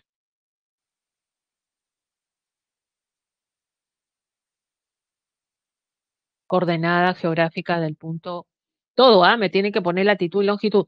Coordenada geográfica del punto B. Entonces pones B, dos puntos, ¿cuánto vale B? En latitud. Pone primero los grados, ¿Ya? ¿Cuánto sería? Vamos a ver, ahí está, 60 grados, latitud sur, y 40 grados, longitud este. Perfecto, muy bien. Chicos, el punto C, rapidito, punto C, coordenada geográfica del punto C. Coordenada geográfica del punto C. ¿Cuánto vale C? ¿Y en qué hemisferio se encuentra C? A ver, ¿cuánto vale C? A ver, todo completo, chicos. Ya, primero los grados, no se, no se escriben eh, los hemisferios, primero los grados. 60 grados, latitud norte, ¿ya? Y 10 grados, longitud oeste. Muy bien, ¿ya? 60 grados, latitud norte, acá está, paralelos fijan valores de latitud 60 grados y 10 grados longitud oeste. Muy bien, Carlos, Abigail Anaís. Por ahí, Cristian, Claudia, muy bien. Vamos, punto C, punto D, chicos, con esto terminamos. El D, ¿cuál es la coordenada geográfica del punto D? A ver, coordenada geográfica del punto D. Primero los grados, luego los hemisferios. Ya, primero los grados. Y si tú me pones 40, yo no sé si es norte o sur. O sea, si tú me pones solo 40 y no me pones hemisferio, yo no sé si es longitud o latitud. Por eso es importante la orientación. 40 grados latitud sur y 60 grados longitud oeste. Perfecto. ¿Ah? Perfecto. Muy bien. ¿Alguien más? Ahí están completando los demás. Muy bien, chicos. Esto sería la parte, en este caso, eh, última ya para pasar a educación cívica. Eh, nos vamos ahora sí a las preguntas, ya, a las preguntas, por favor. Primera pregunta, primera pregunta, Abigail, ¿qué pasó? Eh, vamos, primera pregunta. Dicen una salida de campo en la Reserva Nacional de Lomas Lachay, un grupo de estudiantes de la Escuela Profesional de Geografía Escucha atentamente la explicación del profesor sobre la relación que existe en este oasis de neblinas, o sea, ha llegado a las lomas de la Chay, que nace por la humedad que transportan los vientos provenientes del mar y 146 especies de plantas silvestres y 60 especies de aves que se pueden identificar en los meses de invierno. De la explicación del profesor se infiere que el análisis de la reserva pone en evidencia que se ha utilizado ¿Qué, cosa se ha utilizado, chicos, acá finalmente? Porque se está dando eh, en esta intervención, investigación, ya un conjunto, en este caso, de interrelaciones, ya relaciones que se han dado, conexiones, ¿no? Entre estos elementos que finalmente han conformado lo que es esta loma. Entonces, la respuesta vendría a ser la clave C, el enfoque sistémico. No podría ser el enfoque determinista, porque el enfoque determinista está hablando, en este caso, de un determinado motivo que genera un fenómeno, nada más. ¿Ya? En cambio, la teoría cuantitativa, como yo les mencioné, esta teoría busca recolectar datos para analizar, en este caso, y dar a conocer algo, nada más. Y el método positivista, sobre todo, busca eh, más que nada causa-efecto, nada más. ¿no? Y acá incluso te están hablando ya de muchas relaciones, interrelaciones, por qué se forman las lomas, qué generan flora, fauna, ¿no? Una gran diversidad. Clave C, ¿ya? Eh, un ratito, Abigail, al final eh, me dices cuál, ¿ya? Ejercicio número dos, tienes ahí para facilitar la localización espacial y el estudio de nuestro planeta, se han creado las llamadas líneas imaginarias. Entre ellas encontramos a las que son transversales a los meridianos. Entonces, si son transversales a los meridianos, ¿qué líneas imaginarias son estas? Son los para paralelos, ¿ya? Son los paralelos. te están preguntando de los paralelos. Identifique las afirmaciones correctas. ¿Cuáles serían las correctas? O sea, los paralelos son líneas imaginarias con, con mención, son círculos máximos, o sea, un paralelo, un círculo máximo. ¿Quién es, ¿Quién es el círculo máximo? Es el ecuador, ¿no? Entonces eso sería incorrecto, ¿ya? Dice, ¿representan una vuelta completa a la superficie? Sí, ¿no? Claro, porque el trazo es alrededor de la Tierra, ¿no? Eso es verdadero.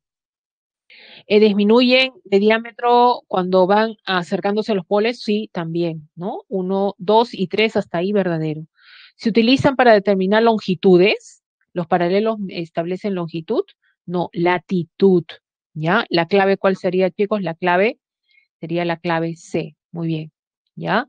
A ver, vamos al ejercicio número 3. Te está hablando de observar esta imagen. Chicos, me gustaría que esto lo hagan ustedes solos también. Voy a dar la clave de frente. Cualquier cosa generen una pregunta. Luego, ya vamos a tener la clave A. ¿Ya? Clave A. ¿Ya? La clave A. ¿Ya? Acá tenemos ejercicio 3, la clave A. Eso sí me gustaría que lo hagan solo. Igual también el ejercicio 4, que sería, en este caso, la clave D. ¿ya? La clave D. Entonces, no sé si hay acá, a ver, a ver, nuevamente repito las claves. Uno, C de casa, dos, C de casa, tres, clave A de avión y cuatro, clave D de dedo. Abigail, dime tú, ¿cuál sería la diapositiva que quieres que retroceda? Esta de acá, dime sí o no, rapidito Abigail, por favor, es la que me escribió, si estás ahí, dime sí, esta, esta de acá, ¿Qué más? Continúo, solo esta. A ver.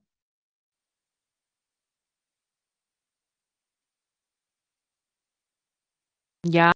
Esta. A ver, ¿cuál, Jorge Luis? La MIS, la 4. La pregunta 4. Jorge Luis, la pregunta 4. Ya, la pregunta 4. Esta de acá.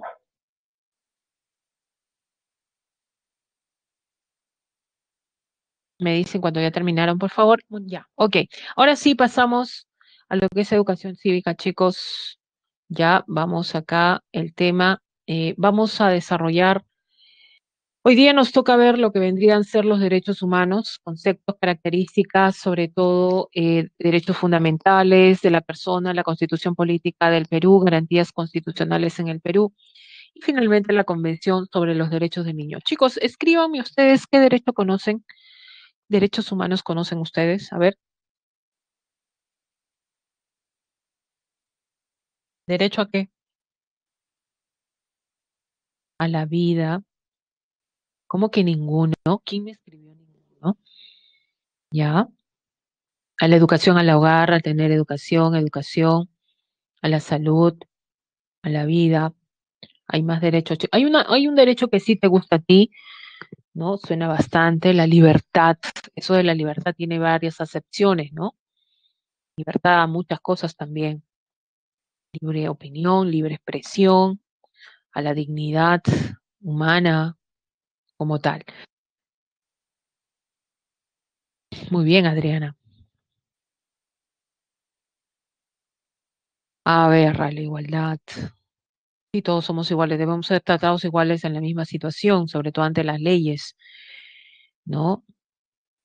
Es la última marcha, Jonathan, muy, muy observador. Profesora, es la ciudad de Lima el 12 de noviembre de 2020. Bueno, acá a la religión, la integridad física. Muy bien, muchas gracias. Uy, este salón se pasó. Chicos, miren, eh, cuando hablamos de derechos humanos, eh, bueno, ahí se está mostrando un gráfico donde ustedes han visto qué es lo que pasó en nuestro país, eh, la participación sobre todo de los jóvenes en generar protestas. Profesora, yo tengo derecho a, salir a protestar en las calles, sí, tienes derecho a eso. Ya eh, habla de la libertad de expresión, habla de la libertad cuando se ha transgredido una situación, en este caso, que no te compete a ti, tú tienes derecho a la protesta. ¿no? Ay, Jonathan, estuviste ahí, wow. A ver, mis respetos a todos estos jóvenes, de verdad, que, mm, bueno, yo de verdad ah, tengo que ser sincera, ¿ya? Em, pues de alguna u otra manera decía, no hay esperanza en este país, los jóvenes están inmersos en otra situación. Para mí, de repente no era, de repente te tocaba conmigo en un, si no hubiera habido esta pandemia, te hubiera tocado conmigo en un salón presencial y a muchos de mis alumnos eh, les he dicho cara a cara, ¿no? Lo que no me gustaba y que sí me gustaba. Y me cuestionaban, ay, profesora, bueno. Pero después de esto, chicos, eh, mi respeto profundo a cada uno de ustedes. Mi concepción ha cambiado y creo que hay esperanza todavía en este país. Todavía podemos generar cambios en este país, habrá mejoras en este país, estoy segura que sí. Veo jóvenes con muchas, muchas ganas de, de superación, jóvenes que quieren cambiar la situación y, y de verdad que mi respeto. Han sido denominados, pues, ¿cómo han sido denominados ustedes por el presidente Sagasti, que pues que está reemplazando al presidente Vizcarra, ¿no? Eh, ¿Cómo se llaman? Ustedes, a ver, díganme ustedes, ustedes lo deben conocer, eh, pues la generación del Bicentenario. ¿Ya? Esto es para la historia, chicos. Ustedes han quedado ya en la historia, ¿no? Los jóvenes como ustedes. Ustedes a sus nietitos van a estar contando justamente lo que aconteció en esta situación en el país. Increíble, en menos de una semana sacaron a un presidente de la República, bueno, vicepresidente que se generó a nombrarse, ¿ya? Entonces, increíble, chicos, esto nunca se ha visto en la historia del Perú. Ojo, ¿no? Hay que preguntar al profe de historia también. ¿Ya? Profesor increíble. Así es. Mi respeto a todos, chicos. Hemos ejercido un derecho que nos corresponde. Eh, algo que tú no estás de acuerdo, tú tienes derecho a generar, eh, tienes derecho a la insurgencia, lo dice la Constitución Política del Perú, y de manera pacífica, ¿no? Sobre todo, lo puedes hacer, ¿ya? Ahora miren, vamos a empezar. Esto es un arma de doble filo, lo llamo así, los derechos humanos, porque lamentablemente estos derechos humanos son conocidos por más por las personas del otro lado que transgreden eh, normas, leyes, ¿no? Y derechos hacia otras personas. Y las que de repente vivimos, entre comillas, tranquilos y no queremos tener problema con nadie, no conocemos nuestros derechos. Algo que tú no conoces, no lo haces valer y no lo haces respetar. ¿Ya? Es importante, sobre todo, conocer qué cosa es lo que vas a proteger. Mira lo que te dice la ONU, bien bonito, ¿no? Del año 2015. Dice, son garantías esenciales, o sea, los derechos humanos, de la que goza toda persona para que podamos vivir como seres humanos. Sin ellos no podemos cultivar ni ejercer plenamente nuestras cualidades, nuestra inteligencia, talento y nuestra espiritualidad importante. Los derechos humanos son facultades humanas propias, inherentes de todo ser humano, ¿ya? Tenemos que respetar los derechos del otro. Si transgredes esos derechos, esa dignidad de esa persona, esa libertad de esa persona, estás generando trazar, estás cruzando un límite no permitido. Es importante esto, jóvenes. Por lo tanto, estos derechos humanos eh, lo adquieres cuando tú naces, ¿ya? Lo adquieres cuando tú naces y mueren, desaparecen, desaparecen, ya no hay más. Cuando tú mueres simplemente, falleces, ¿ya?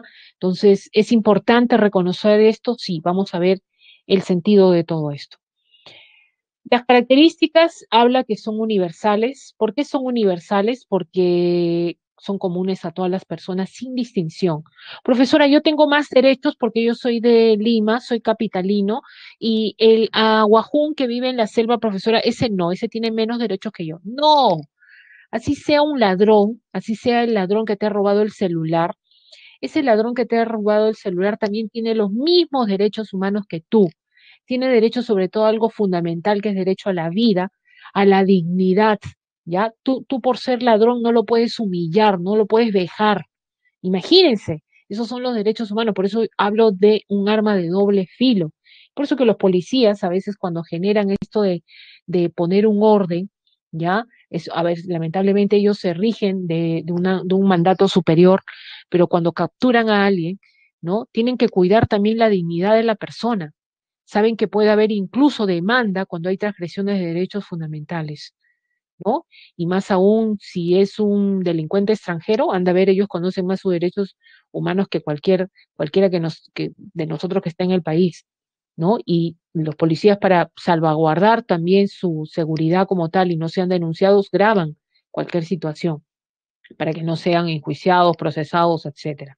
Entonces, son para todos, chicos, ¿ya? Son para todos. Profesora, ¿qué pasa en este caso con las personas que, por ejemplo, ahí dicen de los presos, profesor. Los presos han cometido delitos y si hay una sentencia de por medio, están cometiendo, a, eh, simplemente están purgando un, una, una pena. y que tiene, se suspende simplemente sus derechos, no lo pierden. ¿Cuándo vuelven a tenerlo? Cuando salen de la, de la cárcel, ¿ya? Eh, es sentenciada a muerte. En el caso del Perú no puede pasar, pero en otros países puede pasar por el hecho que existe como la sentencia máxima la pena de muerte. Estados Unidos establece como sentencia, en este caso como sentencia máxima la pena de muerte, porque ellos no pertenecen a ninguna convención, nadie está detrás de ellos, eso, ellos ejercen, eh, hay un derecho que se conoce como la libre autodeterminación de los pueblos, cada uno puede ejercer y determinar lo que es bien para su jurisdicción, su estado y su población así como Argentina aprobó el derecho al aborto, que ellos lo pueden hacer modificando artículos de su constitución y a pesar que protegen la vida, ya lo pueden hacer, cada uno es libre, ya en ese sentido. ¿Ya? Eh, la venganza no, tiene que ser comprobada, siempre y cuando haya pues situación donde hay transgresión hacia la persona, ¿ya? Necesariamente. Interdependientes, la vigencia de uno comporta la vigencia de los otros, sí. ¿Saben por qué es interdependiente? Porque imagínate, yo tengo derecho al trabajo y de ese trabajo que yo recibo un sueldo, una remuneración, etcétera, eh, depende la educación, depende la salud, la vivienda que tengo. El día que me voten arbitrariamente mi trabajo, están agrediendo a un derecho mío, que es derecho al trabajo. No he cometido nada y me han despedido arbitrariamente. Y vulneran mis otros derechos. No voy a tener para pagar la educación, la casa, la vivienda, etcétera. Entonces, por eso la interdependencia. Tú vulneras uno, vulneras los demás. ¿Por qué? Por la interdependencia. Respetas uno, respetas los demás. ¿Por qué? Por la interdependencia. Uno depende del otro. Indivisibles. Ninguno puede, en este caso, disfrutarse a costa de otros sus derechos o no pueden prescindirse de ninguno. ¿Por qué? Porque estamos hablando de la dignidad humana. Tú no vas a decir, profesora, quiero dividir mi dignidad. Eso no existe. O vas a permitir que otro se aproveche de ti. ¿Ya? Por eso habla de la condición de indivisibles. Inalienables. Ni la persona, ni el Estado pueden enajenar o despojarte tus derechos en ningún momento. Incluso si el Estado lo hace, vulnera tus derechos, hay organismos internacionales que te protegen. ¿Por qué? Porque el Estado peruano se ha adherido a ellos. Uno de ellos, la Convención Interamericana de Derechos Humanos o el famoso Pacto de San José. donde puedes denunciar al Estado peruano también. Imprescriptibles, chicos, no es que tú vas a decir, profesora, caducaron mis derechos, tengo que renovarlos, no existe. ¿Cuándo se acaban tus derechos cuando tú mueres? ¿Ya? No es que, profesora, me tengo que renovarlos, tampoco. No existe eso. Incondicionales. No están sujetos a alineamiento, profesora, tengo que, que presentar un documento para que se activen mis derechos. No. Incondicionales significa que tú puedes usarlos en el momento que tú desees, expresarlos, decirlos, hacerlos valer, ¿ya? Porque están ahí para ti en esa situación, en cualquier situación. Inviolables no pueden ser violados ni violentados. Tú cuando eres encarcelado incluso no te pueden sacar pues una, eh, eh, que firmes algo que, que tú no estás de acuerdo, con golpes, agresiones, eso no puede ser, eso no tiene validez, es simplemente pues ahí actúa una garantía constitucional, por ejemplo. Inherentes derivan de la naturaleza, sobre todo humana, ¿ya? Son propios nuestros, o sea, nace con el ser, eh, se establece con el ser humano necesariamente. Muy bien, vamos entonces chicos, no es que apareció el hombre y al aparecer el hombre pues aparecieron los derechos humanos, no fueron así. Esto hubo un proceso de evolución. Se clasificaron de muchas formas hasta que llegaron esto de primera, segunda y tercera generación, donde vamos a tener que, eh, pues ustedes saben esta fecha importante que aconteció en Europa, ¿no? Que marca el inicio de la edad contemporánea, 1789. ¿Qué es lo que se dio en 1789 en Francia? La Revolución Francesa. ¿Ya? Eh, ¿Eso qué significa? Significa que la Revolución Francesa marca un precedente del inicio de un documento que se emite, porque la Revolución Francesa tiene algo muy importante, un documento que emitió la Declaración de los Derechos del Hombre y Ciudadanos, ¿ya? Eso significa derecho a la vida, derecho a la propiedad, derecho a la libertad. Increíble cuando se vivía un, un sistema de monarquía absolutista, se emita este tipo de declaración que causó pues una revolución total en el mundo. ¿Que influenció? Sí, mucho también. Entonces, es por eso que a partir de ahí hablamos de la naciente de los derechos, de los derechos civiles y políticos, o también conocidos como individuales, que son para ti derecho a la vida, a la integridad física, a la libertad de opinión, conciencia y de religión, a la nacionalidad, elegir ser elegido y a la propiedad. Estos son en la primera generación, ¿ya? Profesora, mis incondicionales. Incondicionales, mira, como te refería acá, habla de acá, acá que te está hablando, sujetos a alineamientos y procedimientos que determinan los límites de los propios derechos. Chicos, ¿eso qué significa? Que están sujetos, no están sujetos a ningún lineamiento, ¿ya? Los derechos no están sujetos a algo que tengas que hacer tú para que sean válidos. Incondicionales, no sé si a ti te han dicho alguna vez que eres incondicional, espero que no. ¿no? Que siempre estás ahí cada vez que quieran hacer uso de él, ¿no? Entonces los derechos son parte de ti y los haces valer en el momento que tú desees. A eso se refiere, ¿ya? Cuando hablamos de inconstitucional y, y en este caso incondicionales. Vamos a la segunda generación. ¿Qué pasó en el siglo XIX? Chicos, revolución industrial. La revolución industrial trajo como consecuencia esto de la explotación de obreros, trabajadores, el proletariado, etcétera, y generó muchas, muchas protestas de derechos, ¿no? Hubo la marcha, esto, eh, la protesta para el trabajo de las ocho horas laborales, etcétera, y trajo como consecuencia, ¿ya? En la naciente de nuevos derechos. Ya habían nacido los derechos civiles y políticos, ahora vienen los colectivos, que son los económicos, sociales y culturales. Derecho al trabajo, a la seguridad, un salario justo, al derecho a la huelga, a la sindicalización, al, a la educación. Y finalmente, en la tercera generación vamos a tener en el siglo XX, chicos, derecho a esto después de la Segunda Guerra Mundial. ¿Qué es lo que pasó?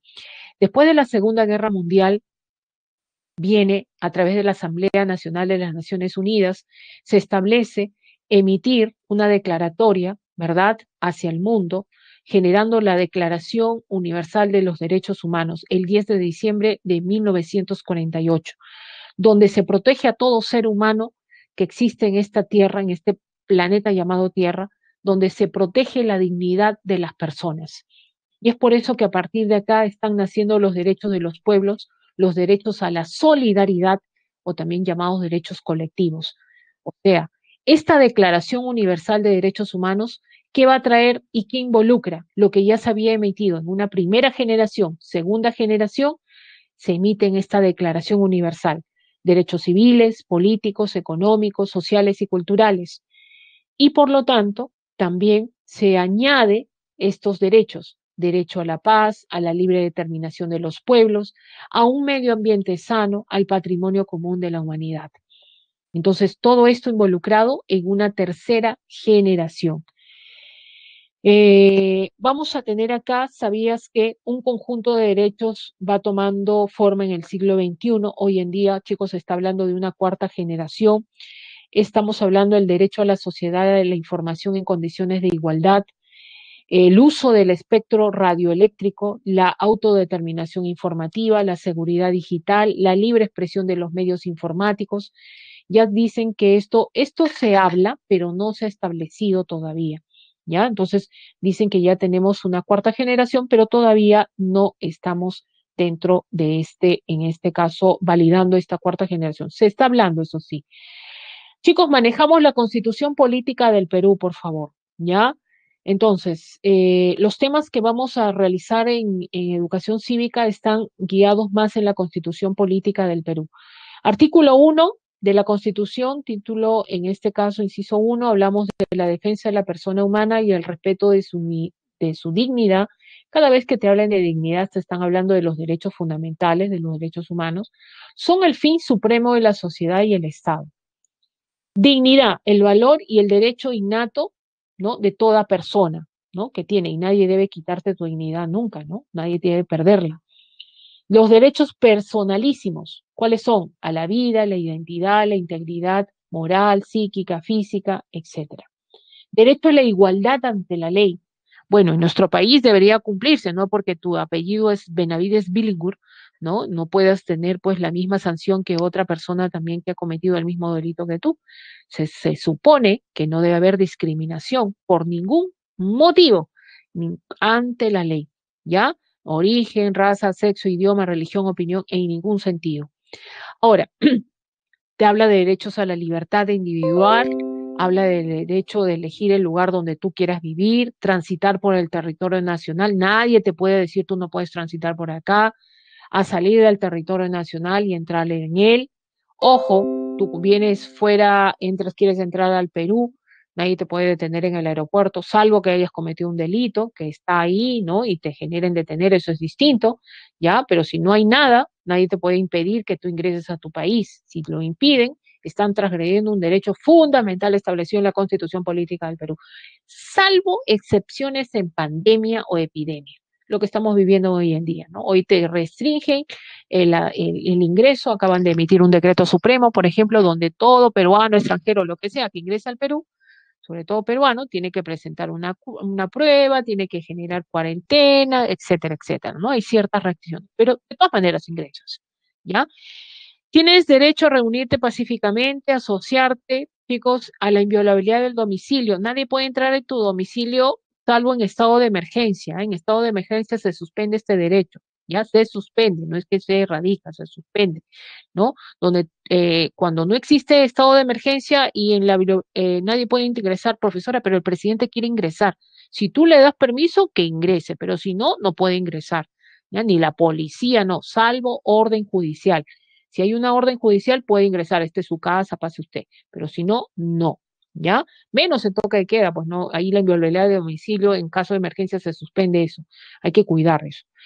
Eh, tienes derecho, vamos a obviar estos, los de espiritual económica, fíjense, todos somos inocentes hasta que se compruebe lo contrario, es por eso que cuando emiten los medios de comunicación dicen presunto violador, presunto delincuente, no pueden decir delincuente, porque todos somos inocentes, se presume la inocencia, ¿ya? Y hay un proceso judicial que lo va a determinar posteriormente si no hay la demanda al medio de comunicación. ¿ah? Nadie está obligado a hacer lo que la ley no manda ni impedido de hacer lo que en ella prohíbe. Tenemos que acatar la ley en todo sentido y si no existe ley que sancione, se establece la interpretación, de todas maneras, pero hay sanción si has transgredido algo. Nadie puede ser incomunicado si no en caso indispensable de, de, esclarecimiento de un delito. Eso sí, ya asúmelo. Si hay un delito de por medio, estás involucrado, ahí sí te incomunican totalmente. No hay prisión por deudas, ¿ya? Profesora, me sacado un préstamo. Sí, pero hay embargo de bienes. Si has puesto el domicilio de tu mamá, ya sabes a dónde van a embargar si es que no pagas la deuda. Pero no hay prisión por deuda, salvo deuda alimentaria. Ya, hay cuidado con esto porque muchos están presos por esta situación. En el caso de herencia, es cierto que tus hijos deben recibir una parte obligatoriamente. Sí, los hijos heredan de manera obligatoria, tanto la esposa como los hijos hereda y nadie te puede quitar esa herencia. Garantías constitucionales, chicos. Esto en el artículo 200 de la Constitución Política del Perú describe las siguientes garantías. Las garantías sirven para proteger estos derechos fundamentales que han sido transgredidos por las personas o autoridades. Miren, jóvenes, acción de, acción de amparo, acción de habeas data, ¿ya? Estos tres, ¿qué protegen? Protegen a la persona. Eso sí lo voy a escribir, ¿ya? Esto protegen a la persona directamente. Acción popular, acción de cumplimiento y acción de, en este caso, tenemos acá de inconstitucionalidad, ¿Estos qué protegen? Protegen, en este caso, las normas, cuando se transgreden normas o leyes, ¿ya? O a la constitución, ¿ya? Cuando se transgrede, vamos a poner acá, se transgreden normas. O sea, esto es más legal, cuando se emite algo en contra de la Constitución, cuando se emite algo en contra de una ley, cuando se emite algo en contra de un reglamento, se presenta una acción popular, acción de cumplimiento, acción de inconstitucionalidad. Esto no van a personas, sino a normas. Y personas, o sea, cuando a ti te han vulnerado un derecho, puedes presentar una acción de amparo, acción de habeas corpus o acción de habeas data. ¿Ya? Ahora, eh, Debes ahí las garantías constitucionales, por ejemplo, habemos corpus, habeas corpus, habemos cuerpo, ¿ya? Cuando se vulnera o amenaza la libertad individual o derechos constitucionales conexos. Jóvenes, lo más común cuando hablamos de acción de habeas corpus es cuando se vulnera tu libertad individual, ya sea de persona o autoridad que lo haga en contra tuya.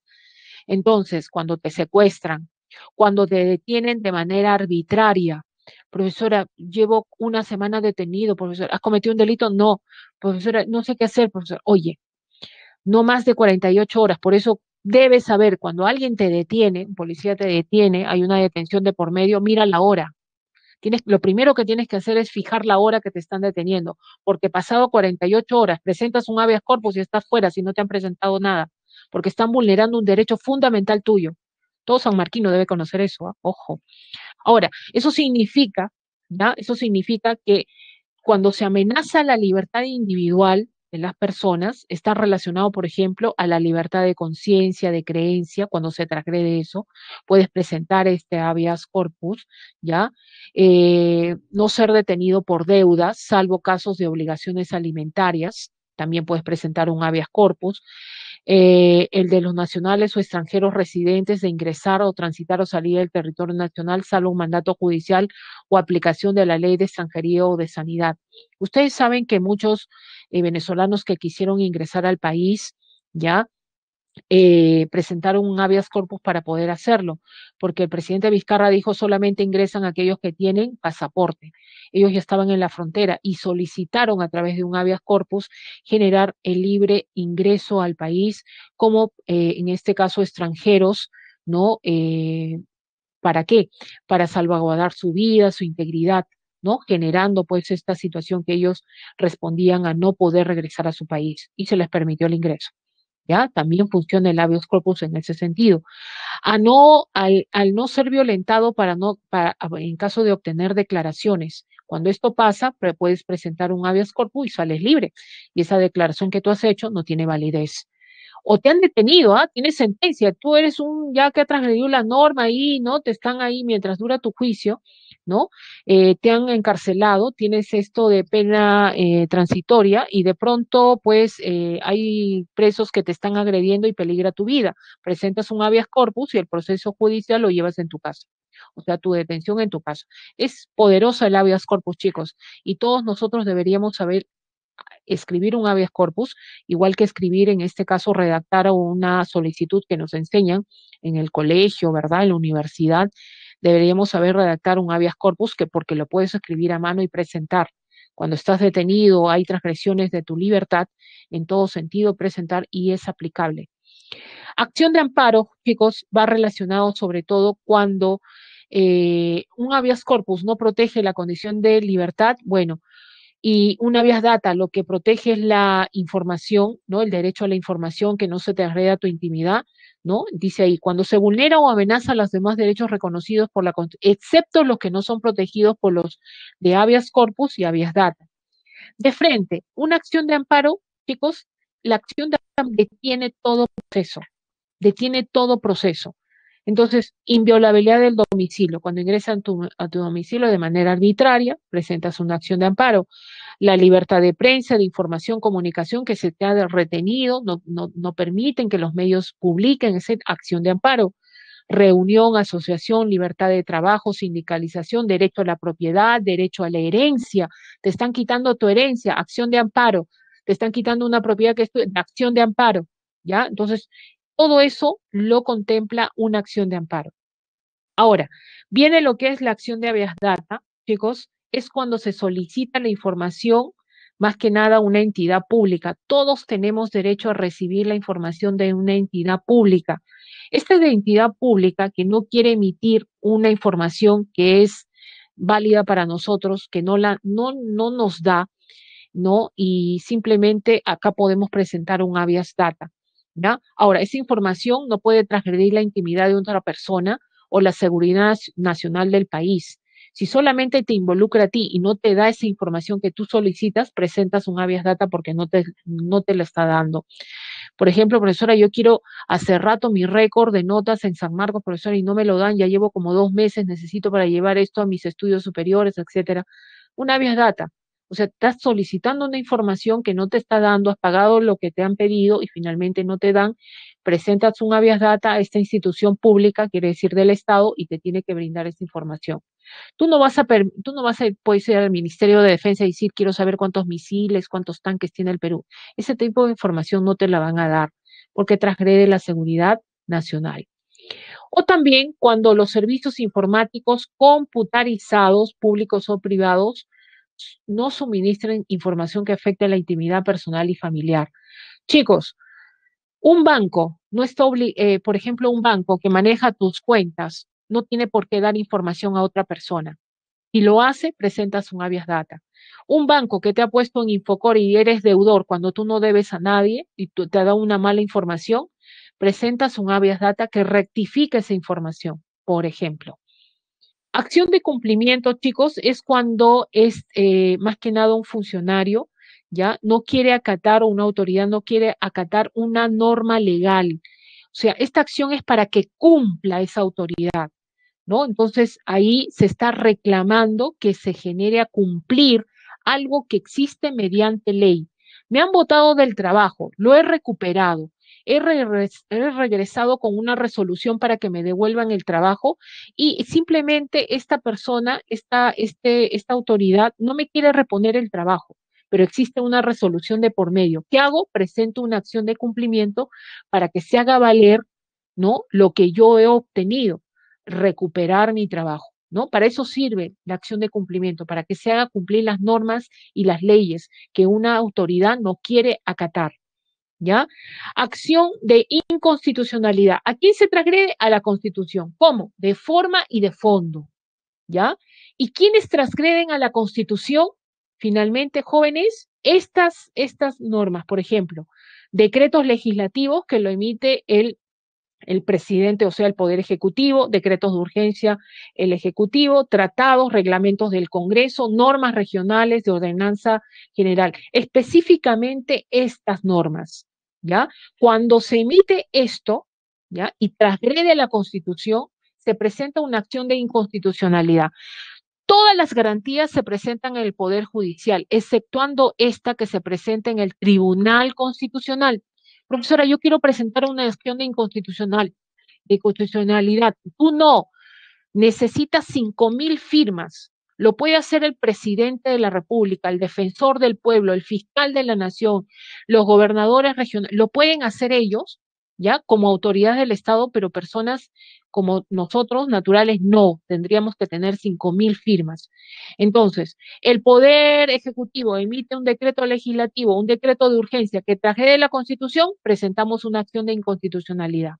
Una ordenanza municipal, ¿quién lo emite? Los municipios. Por ejemplo, una ordenanza que hubo que en la época de los 80, en la época del terrorismo, donde decía que solamente en Miraflores podían transitar los que son de Miraflores hasta las 8, eh, hasta a partir de las 8 de la noche. Después de ahí, los demás de otros distritos, por favor, abstenerse. Entonces, esto era inconstitucional. ¿Por qué? Porque iba en contra de un derecho fundamental que es el libre tránsito. ¿Ya? Acción popular, chicos, se presenta, ya ahí sí tú puedes presentar esto, acción popular de manera personal, ¿no? Contra normas de menor jerarquía, no como estas que vimos anteriormente, que estas son de alta jerarquía, son de los poderes del Estado o gobiernos, en este caso, regionales o municipales. Estas son de menor jerarquía que transgreden a la constitución o a las leyes. Y tú lo puedes presentar de manera personal o también grupal. ¿Ya? Entonces, miren, reglamentos que te dicen que vas ahora a venir vestido de tal manera, ¿no? Y que va en contra de tu dignidad, por ejemplo. Puedes presentar una acción popular. Normas administrativas, ¿no? O que se, no se cumplen. Por ejemplo, te han dicho que te van a aumentar el sueldo progresivamente y no, no, no hay aumento nunca acción popular para que se cumpla esta norma administrativa, ¿ya? O, resoluciones o decretos de carácter general que vayan en contra de una ley que se ha emitido o la constitución. Esto sí se hace de manera personal, ¿no? Una persona natural lo puede hacer a través del Poder Judicial, ¿ya? Muy bien, chicos. Y por último, acá la Convención sobre los Derechos del Niño, esto establecido en la Asamblea General de la ONU el 20 de noviembre de 1989 que contempla proteger a todo ser humano menor de 18 años. No sé si todavía están en la convención ustedes, chicos. Ojo, no se metan con menores de edad. Ya el Perú se ha adherido a esta herramienta jurídica para proteger a todo menor de edad, niño o adolescente, por si acaso. Ya esto significa que si tú te metes con un menor de edad, las sanciones son drásticas No cometamos esa situación. ¿Qué se protege del niño? Adolescente, la no discriminación en ningún sentido. ¿Ya? por el aspecto físico que pueda tener, el aspecto económico que pueda tener el niño, el interés superior del niño. A mí no me importa si yo soy un juez, ¿ya? si su papá es multimillonario, si su mamá es la, la, más pobrecita, no me importa. A mí me va a interesar dónde va a ser feliz ese niño. Se mira el interés superior del niño en todo momento. ¿Ya? La participación del niño, que se le escucha, no es que se le va a hacer caso en todo lo que diga, se le escucha la opinión que tiene el niño, ¿no? Cómo opina. El derecho a la vida y la supervivencia, al desarrollo, a vivir y desarrollarse en un medio adecuado, en una familia, una vivienda, que tenga las condiciones básicas para su desarrollo. Eso es importante. Profesora, ¿qué pasa con esos menores de edad que cometen delitos? Escúchame esto, a ti te detienen si tú eres menor de edad, lo primero que tienes que decir es, soy menor de edad, ¿ya? Porque tú no cometes delitos, tú cometes faltas, nada más. Tú no vas a un, a un, a un, en este caso, un recinto penitenciario, tú vas a una correccional, ¿ya? Tú vas a una, te corrigen nada más hasta que cumplas la mayoría de edad, salvo que hayas cometido un delito y ahí continúa, tú, en este caso, pues, tu, currículum, ahí te sigan sentenciando. Pero finalmente, jóvenes, los menores de edad no cometen delito. Profesora, ¿y esos que asesinan los niños sicarios, profesora? Ese es el problema del Estado peruano, no sabe qué hacer con sus niños sicarios, ¿ya? Porque estos tienen 16, 17 años y han asesinado personas y dicen que hay que juzgarlos como mayores de edad porque quieren cambiar la jurisdicción, las leyes en el Perú, pero ¿quién se les viene encima al Perú si hace eso? La convención. O sea, el Estado peruano está amarrado de las manos, no sabe qué hacer con sus niños secarios. Todos los menores de edad no cometen delitos, cometen faltas, ¿ya? Cometen faltas. Por eso me dicen, algún menor puede en esto para cometer delitos. Así es, ¿ya? Entonces ahí, chicos, a tener en cuenta eso. Todavía estamos amarrados esto con los, en este caso, las situaciones. Terminamos, jóvenes, nos vamos, nos pasamos un ratito, ya nos estamos viendo la otra semana, no se olviden. Tienen también el multichat para poder generar sus consultas en algunos casos o también la otra semana que nos vemos. Vamos, pregunta número uno, ejercicio clave, sobre todo ahí, clave de, profesora, después de los 18 años me pueden seguir manteniendo, sí, siempre y cuando se contemple que tú estás siguiendo estudios superiores, pídele pensión a tu padre que tiene que darte, es obligatorio incluso hasta los 28 años. Felicidades, ya, algunos que pueden.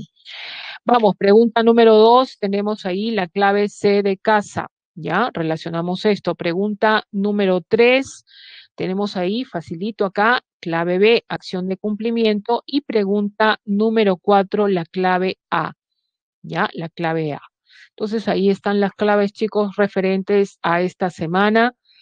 Tenemos uno, clave D, dos, clave C, tres, clave B y cuatro, clave A. Nos vemos la otra semana. Ya me están llamando la atención, me pasé un poquito. ¿Ya? Chicos, sigan estudiando. Seguimos viendo la semana 2, vamos a ver cartografía y nos estamos viendo la siguiente semana. Buenas noches y inicien bien su semana. Buen año para ustedes. Deseo de todo corazón que cumplan sus objetivos y los quiero ver en San Marcos a todos. Nos vemos. Ahí veo sus nombres. Ahí me grabaré sus nombres. Hasta luego.